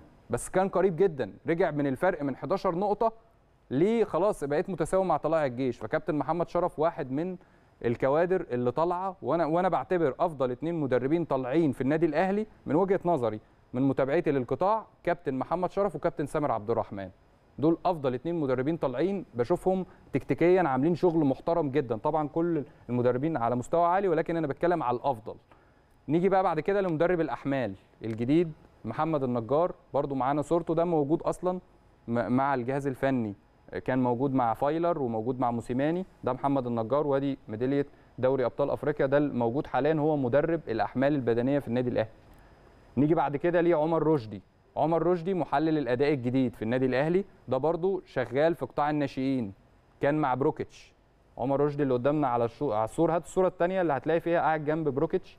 ده على طول موجود في مباريات قطاع الناشئين وهو محلل الأداء مخصص بيه ال scouting وتم تصعيده مع الجهاز الحالي. فبرضه الناس عشان تكون عارفة العناصر بتاعت الجهاز الفني للنادي الأهلي ده الموجودة. فالجهاز الفني ال- الحالي كامل الدعم ليه لأن الناس دي هي اللي هتكمل حتى لما المدرب الأجنبي يجي هي الناس دي اللي هتشيل الماتشات الجاية. الماتشات الجاية أنت. داخل على معركة. ايسترن كومباني والزمالك و... وبيراميدز والمحلة وبعدين إيه ده أنت داخل على بطولتين دوري نهائي الدوري وبطولة كأس مصر قدام بيراميدز. فالوقت ده وقت الدعم كامل الدعم لكل الفرقة الموجودة كل العناصر ال- وخاصة كمان يا كابتن إسلام في حاجة مهمة جدا شخصية اللعيبة الكبيرة. في الوقت ده مهم جدا وليد سليمان محمد الشناوي عمرو السولية. وأنا عارف إن في حديث بيدور حاليا إن إن اللعيبة دي بتلم الفرقة. مهم جدا إن لم الفرقة في الوقت ده اللي شخصية اللعيبة الكبيرة طبعا مع دور كابتن سيد مدير الكورة مع الجهاز الفني ده مهم جدا إن أنت جهاز فني جديد عناصر جديدة وعناصر شابة. كابتن سامي قمصان مدرب واعد مدرب تكتيكيا عالي قوي كابتن محمد شرف شفناه وحللنا له المباريات هنا في قطاع الناشئين عالي جدا تكتيكيا. فالناس دي محتاجة محتاجة الدعم. لازم تمام. يا كابتن إسلام الناس دي نتم دعمها. كريم آه، بكرة نعم. عندنا مباراة مهمة جدا أمام طبعاً. ايسترن كامباني طبعا مباراة ايسترن كامباني واحدة من المباريات اللي أنا دايما بصنفها هي دي المباريات اللي بتكسب ال- الفرق الدوري. الماتشات اللي من النوعية دي مع الفرق اللي هي بتصارع على الهبوط أو الفرق اللي في متوسط الجدول أعتقد هي دي الفرق اللي بيبقى عندها مشكلة إن أنت يبقى عندك أزمة في المباراة دي أكتر ما أنت بتلاعب فريق من فرق القمة لأن فرق القمة بتفتح خطوطها وبتهاجمك زي ما أنت بتهاجم فبالتالي اللعيبة يحبوا ماتشات مع الفرق اللي بتفتح خطوطها. طبعا إحنا عارفين الكابتن علاء عبد العال من مدرسة الكابتن آه، طارق العشري بيقفل كويس وبيقدر يلعب على الهجمة المرتدة بشكل كويس والفريق بيحاول إن هو يهرب من المركز الأخير خصوصا كمان- مع سقوط. يعني النادي المصري بدأ يبقى يعني خسر نقاط كتيرة جدا جدا جدا. النهارده الفرق اللي تحت النادي المصري لو كسبت هو النادي المصري لعب ماتش زيادة عليهم. لو الفرق لو الإسماعيلي والمقاولين كسبوا النادي المصري ينزل من الثلاث فرق وبالتالي هم قريبين من كلهم من بعض. فرق بنتكلم فرق أربع خمس نقط. وبالتالي مباراة صعبة للغاية جاية في توقيت صعب. أتمنى من الكابتن سامي قمصان إنه يبقى يعني محضر اللعيبة بشكل آه، ذهني كويس. طبعا عندنا غيابات كتيرة قوي بسبب اللاعبين الدوليين وإن شاء الله بإذن الله المجموعة اللي موجودة مع الكابتن سامي قمصان. عاد أنا في وجهة نظري المباراة فعلا يعني تقيلة. تقيلة قوي والفوز بيها معنويا هيديك دفعة يعني بعيدا عن الأمور الفنية والأمور التكتيكية داخل الملعب معنويا اللعيبة هيحسوا إن لا مفيش مشكلة. إحنا نقدر اسم النادي الأهلي ياما إحنا تعرضنا للمواقف. آه تعرضنا لها كتير بصراحة حتى يعني مع مع هولمان. يعني مرة في يعني أواخر التسعينات آه، هولمان سابنا ومشي وكان عندنا بطولة عربية وكان عندنا دوري ودو- ودوري أبطال أفريقيا والنادي الأهلي قدر يكمل المشوار بشكل كويس. فأنا يعني أتمنى إن شاء الله بإذن الله النادي الأهلي يتخطى مباراة بكرة مباراة بكرة بتفكرنا بصراحة بالسنه اللي فاتت. السنة اللي فاتت بنلعب بنلعب المونديال بنلعب دوري أبطال أفريقيا بترجع تلعب تخسر كتير. تبدأ تقع تقع يعني ماتش ورا ماتش وطبعا أكيد طبعا الجماهير عارفة النادي الأهلي إذا فاز بمبارياته المؤجلة عشان يتساوى مع نادي الزمالك ونادي بيراميدز والنادي الأهلي نجح في الفوز بيها فالنادي الأهلي يفرق بعيدا عن المواجهة المباشرة بين الأهلي والزمالك. يبقى النادي الأهلي فارق خمس نقاط عن نادي الزمالك وتسع نقاط عن نادي بيراميدز. أنا في وجهة نظري في الدور الثاني لو أنت وصلت لفرق ست نقاط مع نادي الزمالك بنسبة كبيرة خلاص يبقى الدوري أنت بتقضي عليه وبتقضي على الم- المنافسة. فإن شاء الله بإذن الله يبقى بداية مشوار آه، عودة درع الدوري النادي الأهلي بداية من بكرة من مباراة ايسترن كامباني مباراة بكرة أهم مباراة في الموسم للنادي الأهلي وأصعب مباراة. مباراة صعبة جدا جدا جدا، أولاً أنت عندك غيابات لعيبة مش موجودة في منتخب مصر، لعيبة مهمة على رأسهم السولية والشناوي وأيمن أشرف. عندك إصابات حمدي فتحي مش موجود، بيرسي تاو كمان مش موجود، علي معلول مش موجود، ميكيسوني مش موجود، عندك غيابات كتيرة جدا. عندك برضو تغيير جهاز فني في الفترة دي برضو ده بيزود من صعوبة المباراة بكرة. اللعيبة كمان قد يكون أنا عايز أكسب في بعض اللعيبة ممكن يكون عندها انذارات بعض اللعيبة قبل مباراة الزمالك. فكل ده بيعمل ضغط إن أنا عايز أكسب عشان آخد دفعة معنوية قبل مباراة الزمالك. فالمباراة دي هي نفسيا أصعب من ف... من فنيا. ده يعني نفسيا من وجهة نظري المباراة دي صعبة جدا. فنيا برضو بشوفها طبعا كابتن علاء عبد العال مميز جدا. أكيد هيلعب دفاع منطقة بكرة. نتمنى نشوف التغيير بقى. عكس بيتسو موسيماني. نتمنى كابتن سامي قمصان بقى يحط بصمته بكرة في حتة التغيير. آه واحدة واحدة مش مستعجلين في التغيير ولكن نتمنى نبدأ بطريقتنا. نفسي أشوف النادي الأهلي بيرجع يضغط زي الأول. آه إحنا لسه قلت الكلمة دي امبارح. جابوا لي لقطة في أول أول لقطة في مباراة المصري بالسلوم وهو الثلاث لعيبة بتوعنا بيضغطوا من قدام ووراهم البتاع افتكرت مرة مباراة كنا بنلاعب آه، النادي الأهلي كان بيلاعب كوتوكو على ما أتذكر ماتش 4 ومانويل- 0 4 0 آه كوتوكو كوتوكو مانويل جوزيه قال لنا إيه؟ قال لنا لو في أول نص ساعة كان المفروض نكسب أكتر من 2-0 عشان نصعد آه، عن أول أول عن هذه المجموعة. قال لك أول نص ساعة أنا عايز أربع تجوان. وبعد حصل. كده إيه؟ حصل آه آه. ربع ساعة حصل. أول آه، نص الشوطة؟ بتاعت. محمد شوقي أول تمن- الدقيقة أول تلت 28 الشوطة بتاعت محمد شوقي 28 كان الجون الرابع آه. قبل ال- قبل الدقيقة 30 بدقيقتين فكنا بنعمل إيه فكان يقول لك آه، حد في الملعب يعني كان يقول لنا اضغط فتلاقي إيه مثلا بلعب back right كنت بلعب ماتش بلعب back right لا أنا بلعب آه، wing right. wing right left آه، راس حربة عارف اللي هو إيه تلعب في نص ملعب الخصم تلعب في نص ملعب الخصم بس ما ب- الكرة الكرة ما عدتش كابتن اسامه حسني في الماتش ده عمل اسيست سامح عالمي. حسني آه، آه، الكرة اللي بدماغه الظهر عمل اسيست سوري. آه. فلافيو. كانت حلوة فكان آه، الماتش ده من الماتشات اللي فأنا عمال أقول إيه بقالي فترة آه، ألاقي النادي الأهلي اللعيبة نازلة مدرب بيقول لهم اعملوا كذا وبيكسب وبتاع تمام زي الفل. لكن ما شفناش بقى اللي هي إيه طريقة لعب النادي الاهلي بتتكلم بصراحة أنا ما عجبنيش الأداء في مباراة المصري للسلوم خالص. مفيش ضغط. إحنا محتاجين بكرة يكون عندنا ضغط أكتر من كده. لازم لعيبة النادي الأهلي تضغط لازم شخصياتها تظهر لازم يبقى عندنا ريتم طول إيه الفرق ما بين الفريق الكبير والصغير؟ إيه الفرق ما بين النادي الأهلي والفرق الصغيرة؟ إن أنت لازم يبقى عندك ريتم أنت اللي تفرض الريتم بتاعك. أنت اللي تسيطر. أنت اللي تستحوذ. لازم يبقى في ضغط عالي من أول دقيقة. عايز كمان شخصيات اللعيبة بكرة لازم كمان دور كابتن محمود الخطيب دور مهم جدا النهارده بي- بيوجه لهم رسالة النهارده موجود في التمرين سنة طمأنينة أكتر منها شيء تاني وش وطريقة م- يعني في حاجات كده بناخد بيدي هنا. دفعة معنوية دفعة للجهاز الفني وللعيبة. مهم جدا يا جماعة لازم اللعيبة بكرة تضغط من الدقيقة لا وفي الأولى نقطة بقى مهمة جدا يا كابتن بكل أمانة. يعني بعيدا عن طبعا إن شاء الله النادي الأهلي أكيد خلال آه، أيام ومش أسابيع يعني هي هيعين جهاز فني جديد والأمور هتستقر وهيبقى شايفين المستقبل لكن مهم فعلا ماتش بكرة وماتش نادي الزمالك المهم جدا يوم الأحد إن شاء الله فعلا. إحنا في ماتشين مفيش رفاهية إهدار فرص بكل أمانة. يعني في نقطة مهمة جدا. فرص اللي هي نقط يعني ولا فرص لا؟ فرص الفرص في المباراة آه. تارجت يعني. بجد يعني نقطة مهمة جدا. لاعب النادي الأهلي أكيد بدون شك لعيب مميز عن لاعب أي نادي تاني وإلا ما كانش النادي الأهلي فكر إن هو يضمك أو يطلعك الفريق الأول لو أنت طالع من الناشئين. وبالتالي في بعض الأحيان في بعض الأحيان محتاجين التركيز يبقى 100% حتى صح. يعني بشكل استثنائي لمدة ماتشين. ما ينفعش مثلا إحنا مباراة مصر بالسلوم سنحت بعض الفرص السهلة اللي ضاعت. طيب أوكي المباراة عدت على خير وكانت في المتناول. وطبعا الفارق البدني كان واضح جدا في ال 45 دقيقة الثانية بصراحة. فرقه مصر بالسلوم عملوا شوط أول حلو قوي بصراحة والكابتن أحمد عبد الرؤوف عامل فرقة حلوة بتلعبوا كرة على الأرض. لكن طبعا المجهود البدني بالنسبة لهم صعب جدا يلعبوا 90 دقيقة قدام النادي الأهلي. ايسترن كومباني هيلعب بدني كويس. طبعا. 90 دقيقة قدام النادي ده الاهلي ده كابتن علاء ده. بالظبط. وبالتالي بيلعب في نص ملعب مش بالظبط. وبالتالي نتمنى بكرة الت... يعني اللعيبة طيب. طبعا كابتن سيد إن شاء الله يخ... يعني ربنا سبحانه وتعالى يوفقه إنه ي... يعني يستخدم الطريقة المناسبة للمباراة. بس فعلا اللعيبة محتاجة بقى تعرف إن الفرصة النهارده ما عندناش رفاهية إن إحنا. نضيعها.